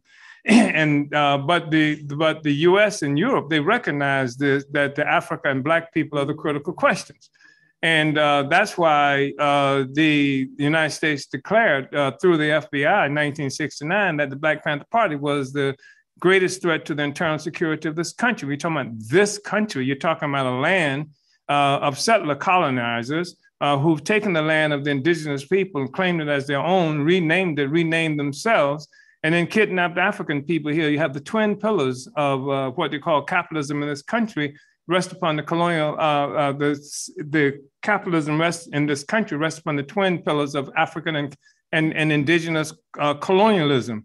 Uh, and I think uh, we've seen a situation where if we're not clear on this question, there are all kinds of mistakes that we make. For example, that is to say, the centrality of the colonial question, the fact that we're looking at a colonial mode of production. I was reading something not too long ago where in Stuttgart, Germany, in 1907, uh, at the Communist International, the Third, uh, Third International had this conference, uh, and uh, the Third International voted for socialist colonialism. And they, they said, how the hell uh, can we end under socialism, end colonialism, when all the resources, all the value, everything we get comes from the colonized peoples? And that they're too stupid to know what to do with it anyway. And even made jokes like they would put us in a pot and cook us if we were in Africa with machines and stuff. This is the Communist International. And that, of course, was 1907. And I'm saying this because there's a consciousness of the centrality of the colonial question that everything that they have rests upon the foundation of colonialism, and that people can envision uh, being free uh, uh, as colonizers and colonialism still being in place. There's no necessary uh, uh, connection between colonial uh, fighting from their perspective against capitalism and, and fighting against colonialism. And I think that uh, further evidence of the recognition that the United States uh, understands this question of the centrality of Africa for the liberation of all the people. Um, uh, first, part of it is an attack on the African People's Socialist Party. Because one thing about the African People's Socialist Party is that uh, as an organization, we are reconnecting the whole African nation everywhere, everywhere we are, uh, similar to what Garvey did, which is the reason that the first uh, uh, integration of the FBI came as a consequence of the fact that they needed somebody black uh, to infiltrate the Garvey movement more than 100 years ago. Uh, and that you have a situation where today, for the first time in the 246 year history of the of the U.S. Marines, they made a, a, a black man a four-star general and then put him in charge of what? AFRICOM, uh, controlling uh, uh, Africa, maintaining Africa in this fight in particular with Black people, Africans ourselves on the continent, and in the contest that the United States feels it's engaged in uh, with Russia and China uh, for resources and influence in Africa. Uh, this is part of what it is that we're looking at that, that should really help us to understand uh, the significance of the, the, the reality that uh, the, the whole foundation of capitalism rests upon the backs of African people. And it's not just just the foundation of capitalism as it relates to Black people, but it's a world economy. The entire economy is connected uh, uh, through this parasitic relationship. Every action, every activity that's happening on the globe now has at the at its center uh, this colonial mode of production. All life that is is created and recreated in this process. And that and it's being troubled right now uh, because peoples around the world are fighting back taking our resources. And of course there's greater competition uh, now from china and russia uh, that influences that. And greater competition a, growing consciousness among african people ourselves. Uh, you know, uh, the the FBI when it attacked us, they they stole 130,000 signatures that we had gathered on petitions uh, uh, online uh, around the question of, uh, of genocide. like I mentioned, in 1982, we charged the United States with genocide, convicted the United States of genocide, and this is part of what they're attacking us for now. I think it's really important to understand that and uh, to say uh, to uh, especially Comrade Jalil that I know that we have some differences around some of these questions, and I think they're profound and deep differences, but I also think that it's possible for us to work together on some of these uh, issues and questions and how this struggle is being put forward, and that we have to do that whenever and however is possible if it doesn't come at the expense of basic and fundamental belief systems uh, or, or, strategic direction that either of uh, the efforts that we are making uh, uh, is involved in. Uhuru. Uhuru, if I may just take one minute to, to agree uh, with uh, the chairman. Uh, he is absolutely correct. Uh, we have every method and means from which we can cooperate and build unity and the goals and justice we need to achieve. Uh, we're right. all under the suffering under the same conditions of genocide, same conditions of oppression, same conditions of white supremacy, same conditions of capitalism and imperialism. And so for us to not to not find means for which we can unify and build together is betrayal of our movement, betrayal of our people. And we're not going to do that. We will not betray our people, we will not betray our movement. And so, yes, we will find the means and method from which we can unify our organizations and unify our goals and directions, uh, um, uh, goal and direction towards this movement going forward. Uh, uh I, I, am very grateful for, again, had an opportunity to speak uh, in, in, support of the chairman uh, during this webinar. This is an important webinar. And it's important for all of us to recognize the extent from which we have to ensure that our comrades, who when they're being attacked, that we defend them. That's what we're doing here. We're defending the APSP, and we're our, our chairman, and we're defending the African uh, uh, Revolution. I just want to say, Comrade Jalil, you have to be careful uh, because uh, uh, the, the fact is that they want us to be isolated in our movement. That's one of the reasons the international work you're doing is important. But that's also the reason they attacked us. You know, I was in Moscow, uh, I was in Ireland, uh, I was in various places where I was in Nicaragua and various places like that. And so they would prefer to have us uh, isolated and separated from the international community so that they can uh, uh, define our, our, situation and put forth a narrative of our reality. So be careful. And uh, uh, but I'm glad you're out there because uh, Comrade Jalil, you know, like today we say that the 1960s was a dress rehearsal, that the real deal is on now. And of course, we know we're dealing with a savage beast that has no shame uh, and uh, will do anything and has done anything and everything in order to maintain its domination of the world's people. So just want you to be careful and recognize that. Uh, uh that's why I mentioned even when I understood that you had to take care of some business on a on a you know a quote unquote personal level uh, uh, because it you know possibly involved forces who want to do harm to our movement and have done that historically. So thank you, Uhuru.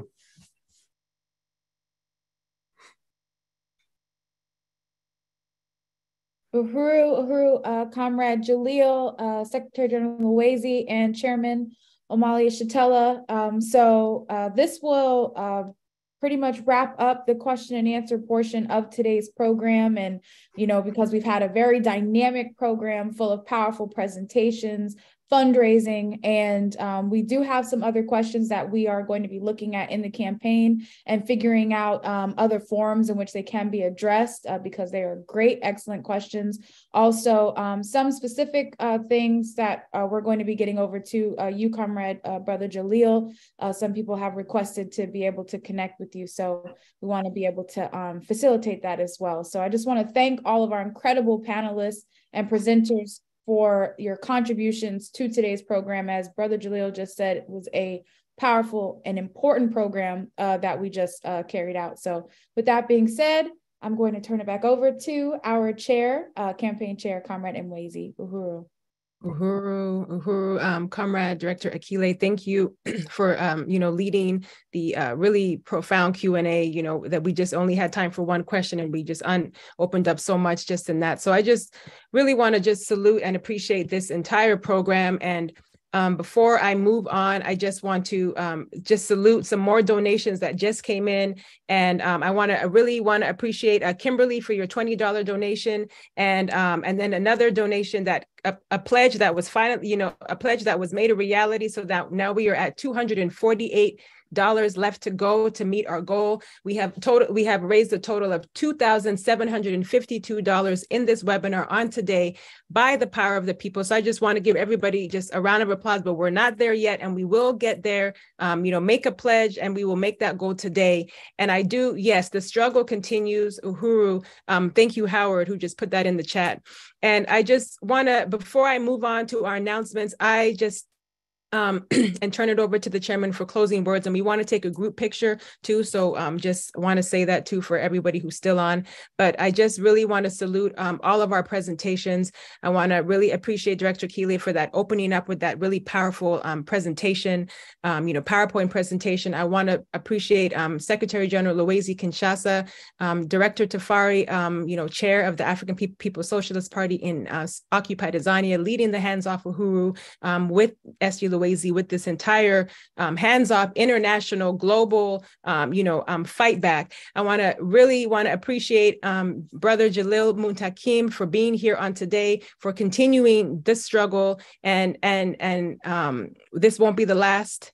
Um, and and the next time will be even more powerful because we're going to continue to fight back. So I just want to really appreciate you for making it on this call, and Chairman for your relentless struggle um, that has brought us here today um, we had the example of Marcus Garvey uniting African people from all over the world, and we can see that example in Chairman Omali Yeshitela um, throughout your your relentless leadership. And and you know we are going to we're going to make it and we're going to see African people united and living the life that we were meant to live, which means that all human beings in all walks of life will live the life that we were meant to live um, in this lifetime. So Uhuru and um, I see that Diane has made a pledge to do $20. That This is in the Zoom chat for um, those who can't see who are um, on the back end. So thank you, uh, thank you, Diane, for that pledge. Um, that is just great. And that is just what we need. Continue to make the pledge so that we can um, get up there. So right now that takes us to um, $228 left to, um, you know, remaining to raise for today. So we're going to go right into our announcements and our chat moderators are ready to drop all these links in the chat. So I'm going to move quickly. Um, but I want to, um, as that slide pulls up, if you have not already followed us on social media, um, and that slide probably says something wrong, but it should say follow us on social media. Okay.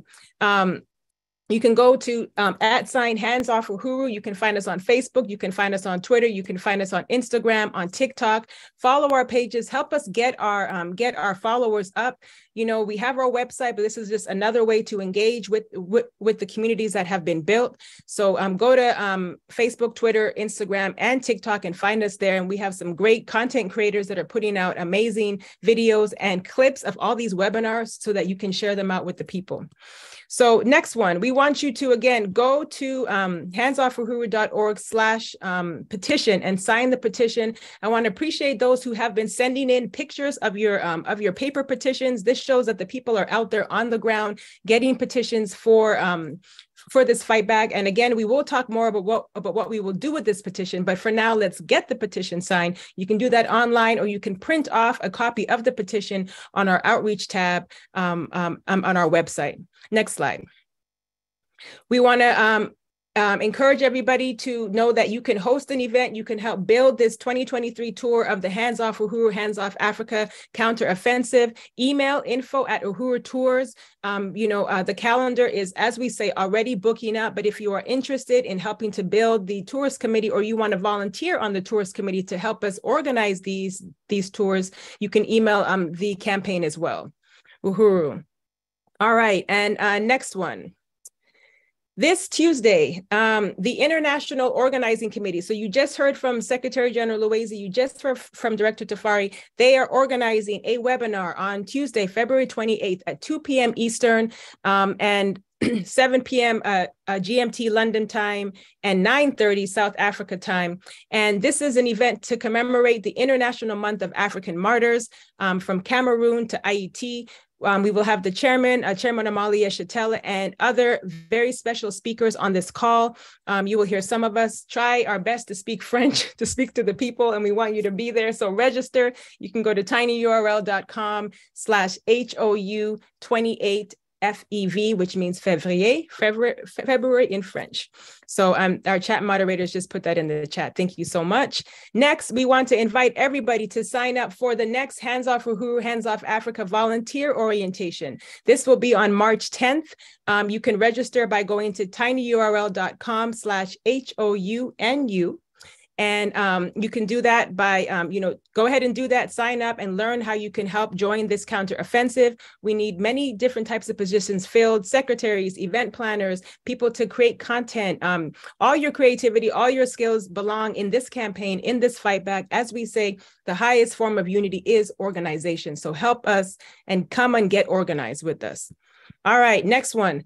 Go to handsoffuhuru.org slash shop and get some of the hands off merch. Again, some of you might be getting these because of your donations, but if you want to just rock one anyways while you're out there in the streets, go to handsoffuhuru.org and get you some Uhuru swag. Uhuru.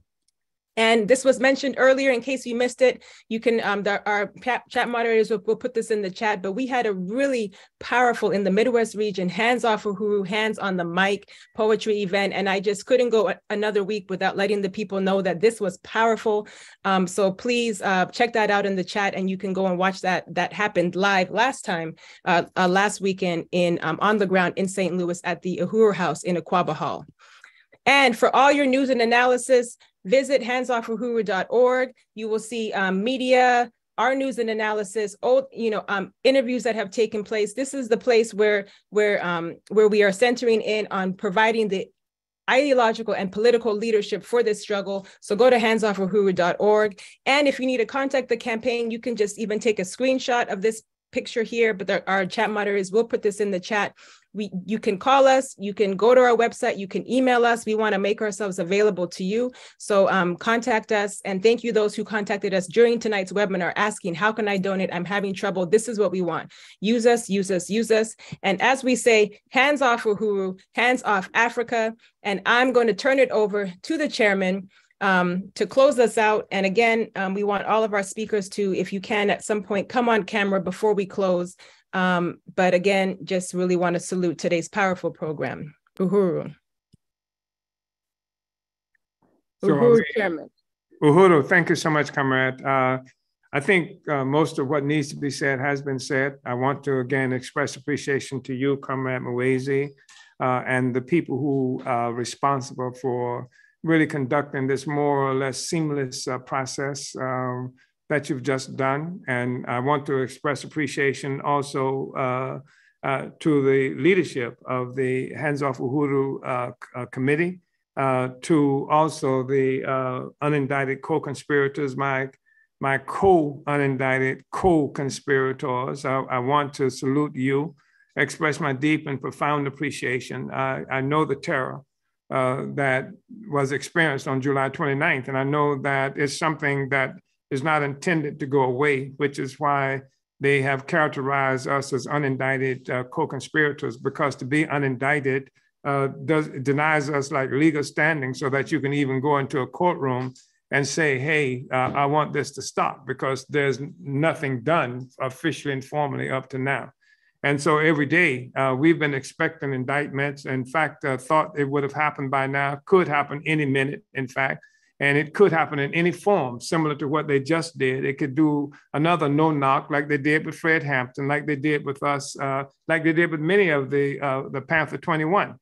And uh, so I, I really, you know, appreciate uh, you, comrades, for your courage and and the number of people who've uh, uh, interestingly have joined or tried to join the African People's Socialist Party and the Uhuru movement precisely because they saw us attacked uh, by the FBI, which is really interesting. The number of people said, this is not just in the United States, by the way. This is in Africa and other places. Said, this is why I want to join.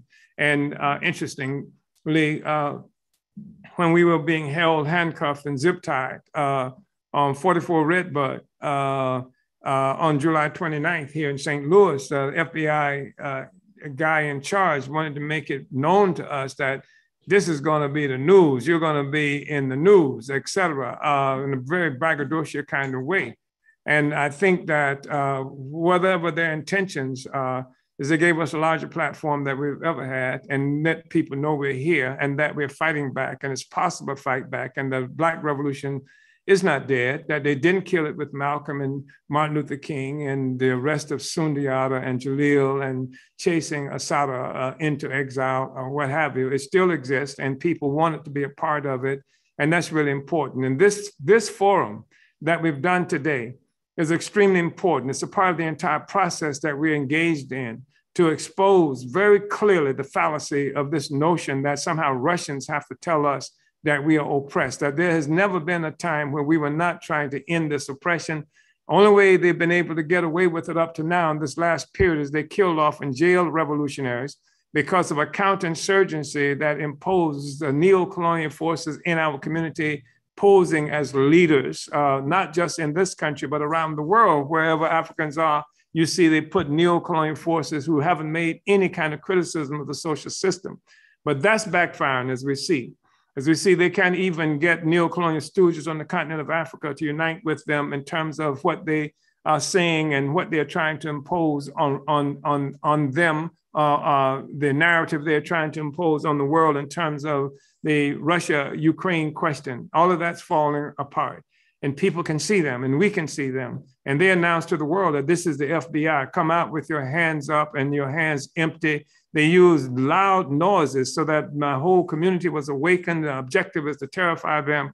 And they've simply alerted the people, just as we are doing right now, uh, that the struggle lives, the struggle continues, and, and that we are engaged in this counteroffensive that we call the Defense Committee. So thank you. Uh, thank you, Comrade Jalil. Uh, I think I know some of the things, the bad, bad things they did to you when they captured you. Uh, that doesn't get talked about. I've never heard you talk about it, and and you know, but I I, I know they did horrible things to you and to other comrades uh, uh, as well.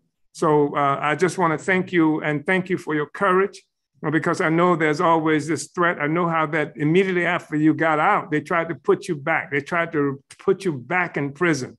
Uh, and so there's this threat that's always out there. This is a form of terrorism uh, that exists all the time. And uh, so I want to appreciate you, and I want everybody to appreciate you uh, uh, as well. So thank you, thank you, brothers and sisters. Thank you, comrades. Uh, again, thank Hands Off Uhuru Committee. hands Off Uhuru, Hands Off Africa, Uhuru. Yeah. Uhuru, Chairman. Uhuru, yeah. comrades. Yes, right on. We appreciate you, Comrade uh, Jalil, and you've seen that in the chat. And I hope don't forget to save the chat because there's just a lot of outpouring of support, um, you know, in the chat as well. So um, those who can come on camera, let's come on. Let's get our screenshot and let's let's let's show them what the you know what the fight back looks like uh, live and in color. And I want to appreciate comrades and thank you, Chairman, for your closing um, remarks and just for your relentless leadership. Uhuru. So we're gonna say hands off Uhuru. Hands, Hands up, Africa. Fist up. Fight back. All right, Uhuru. Ease relate to Africa. E Africa. Ease relate to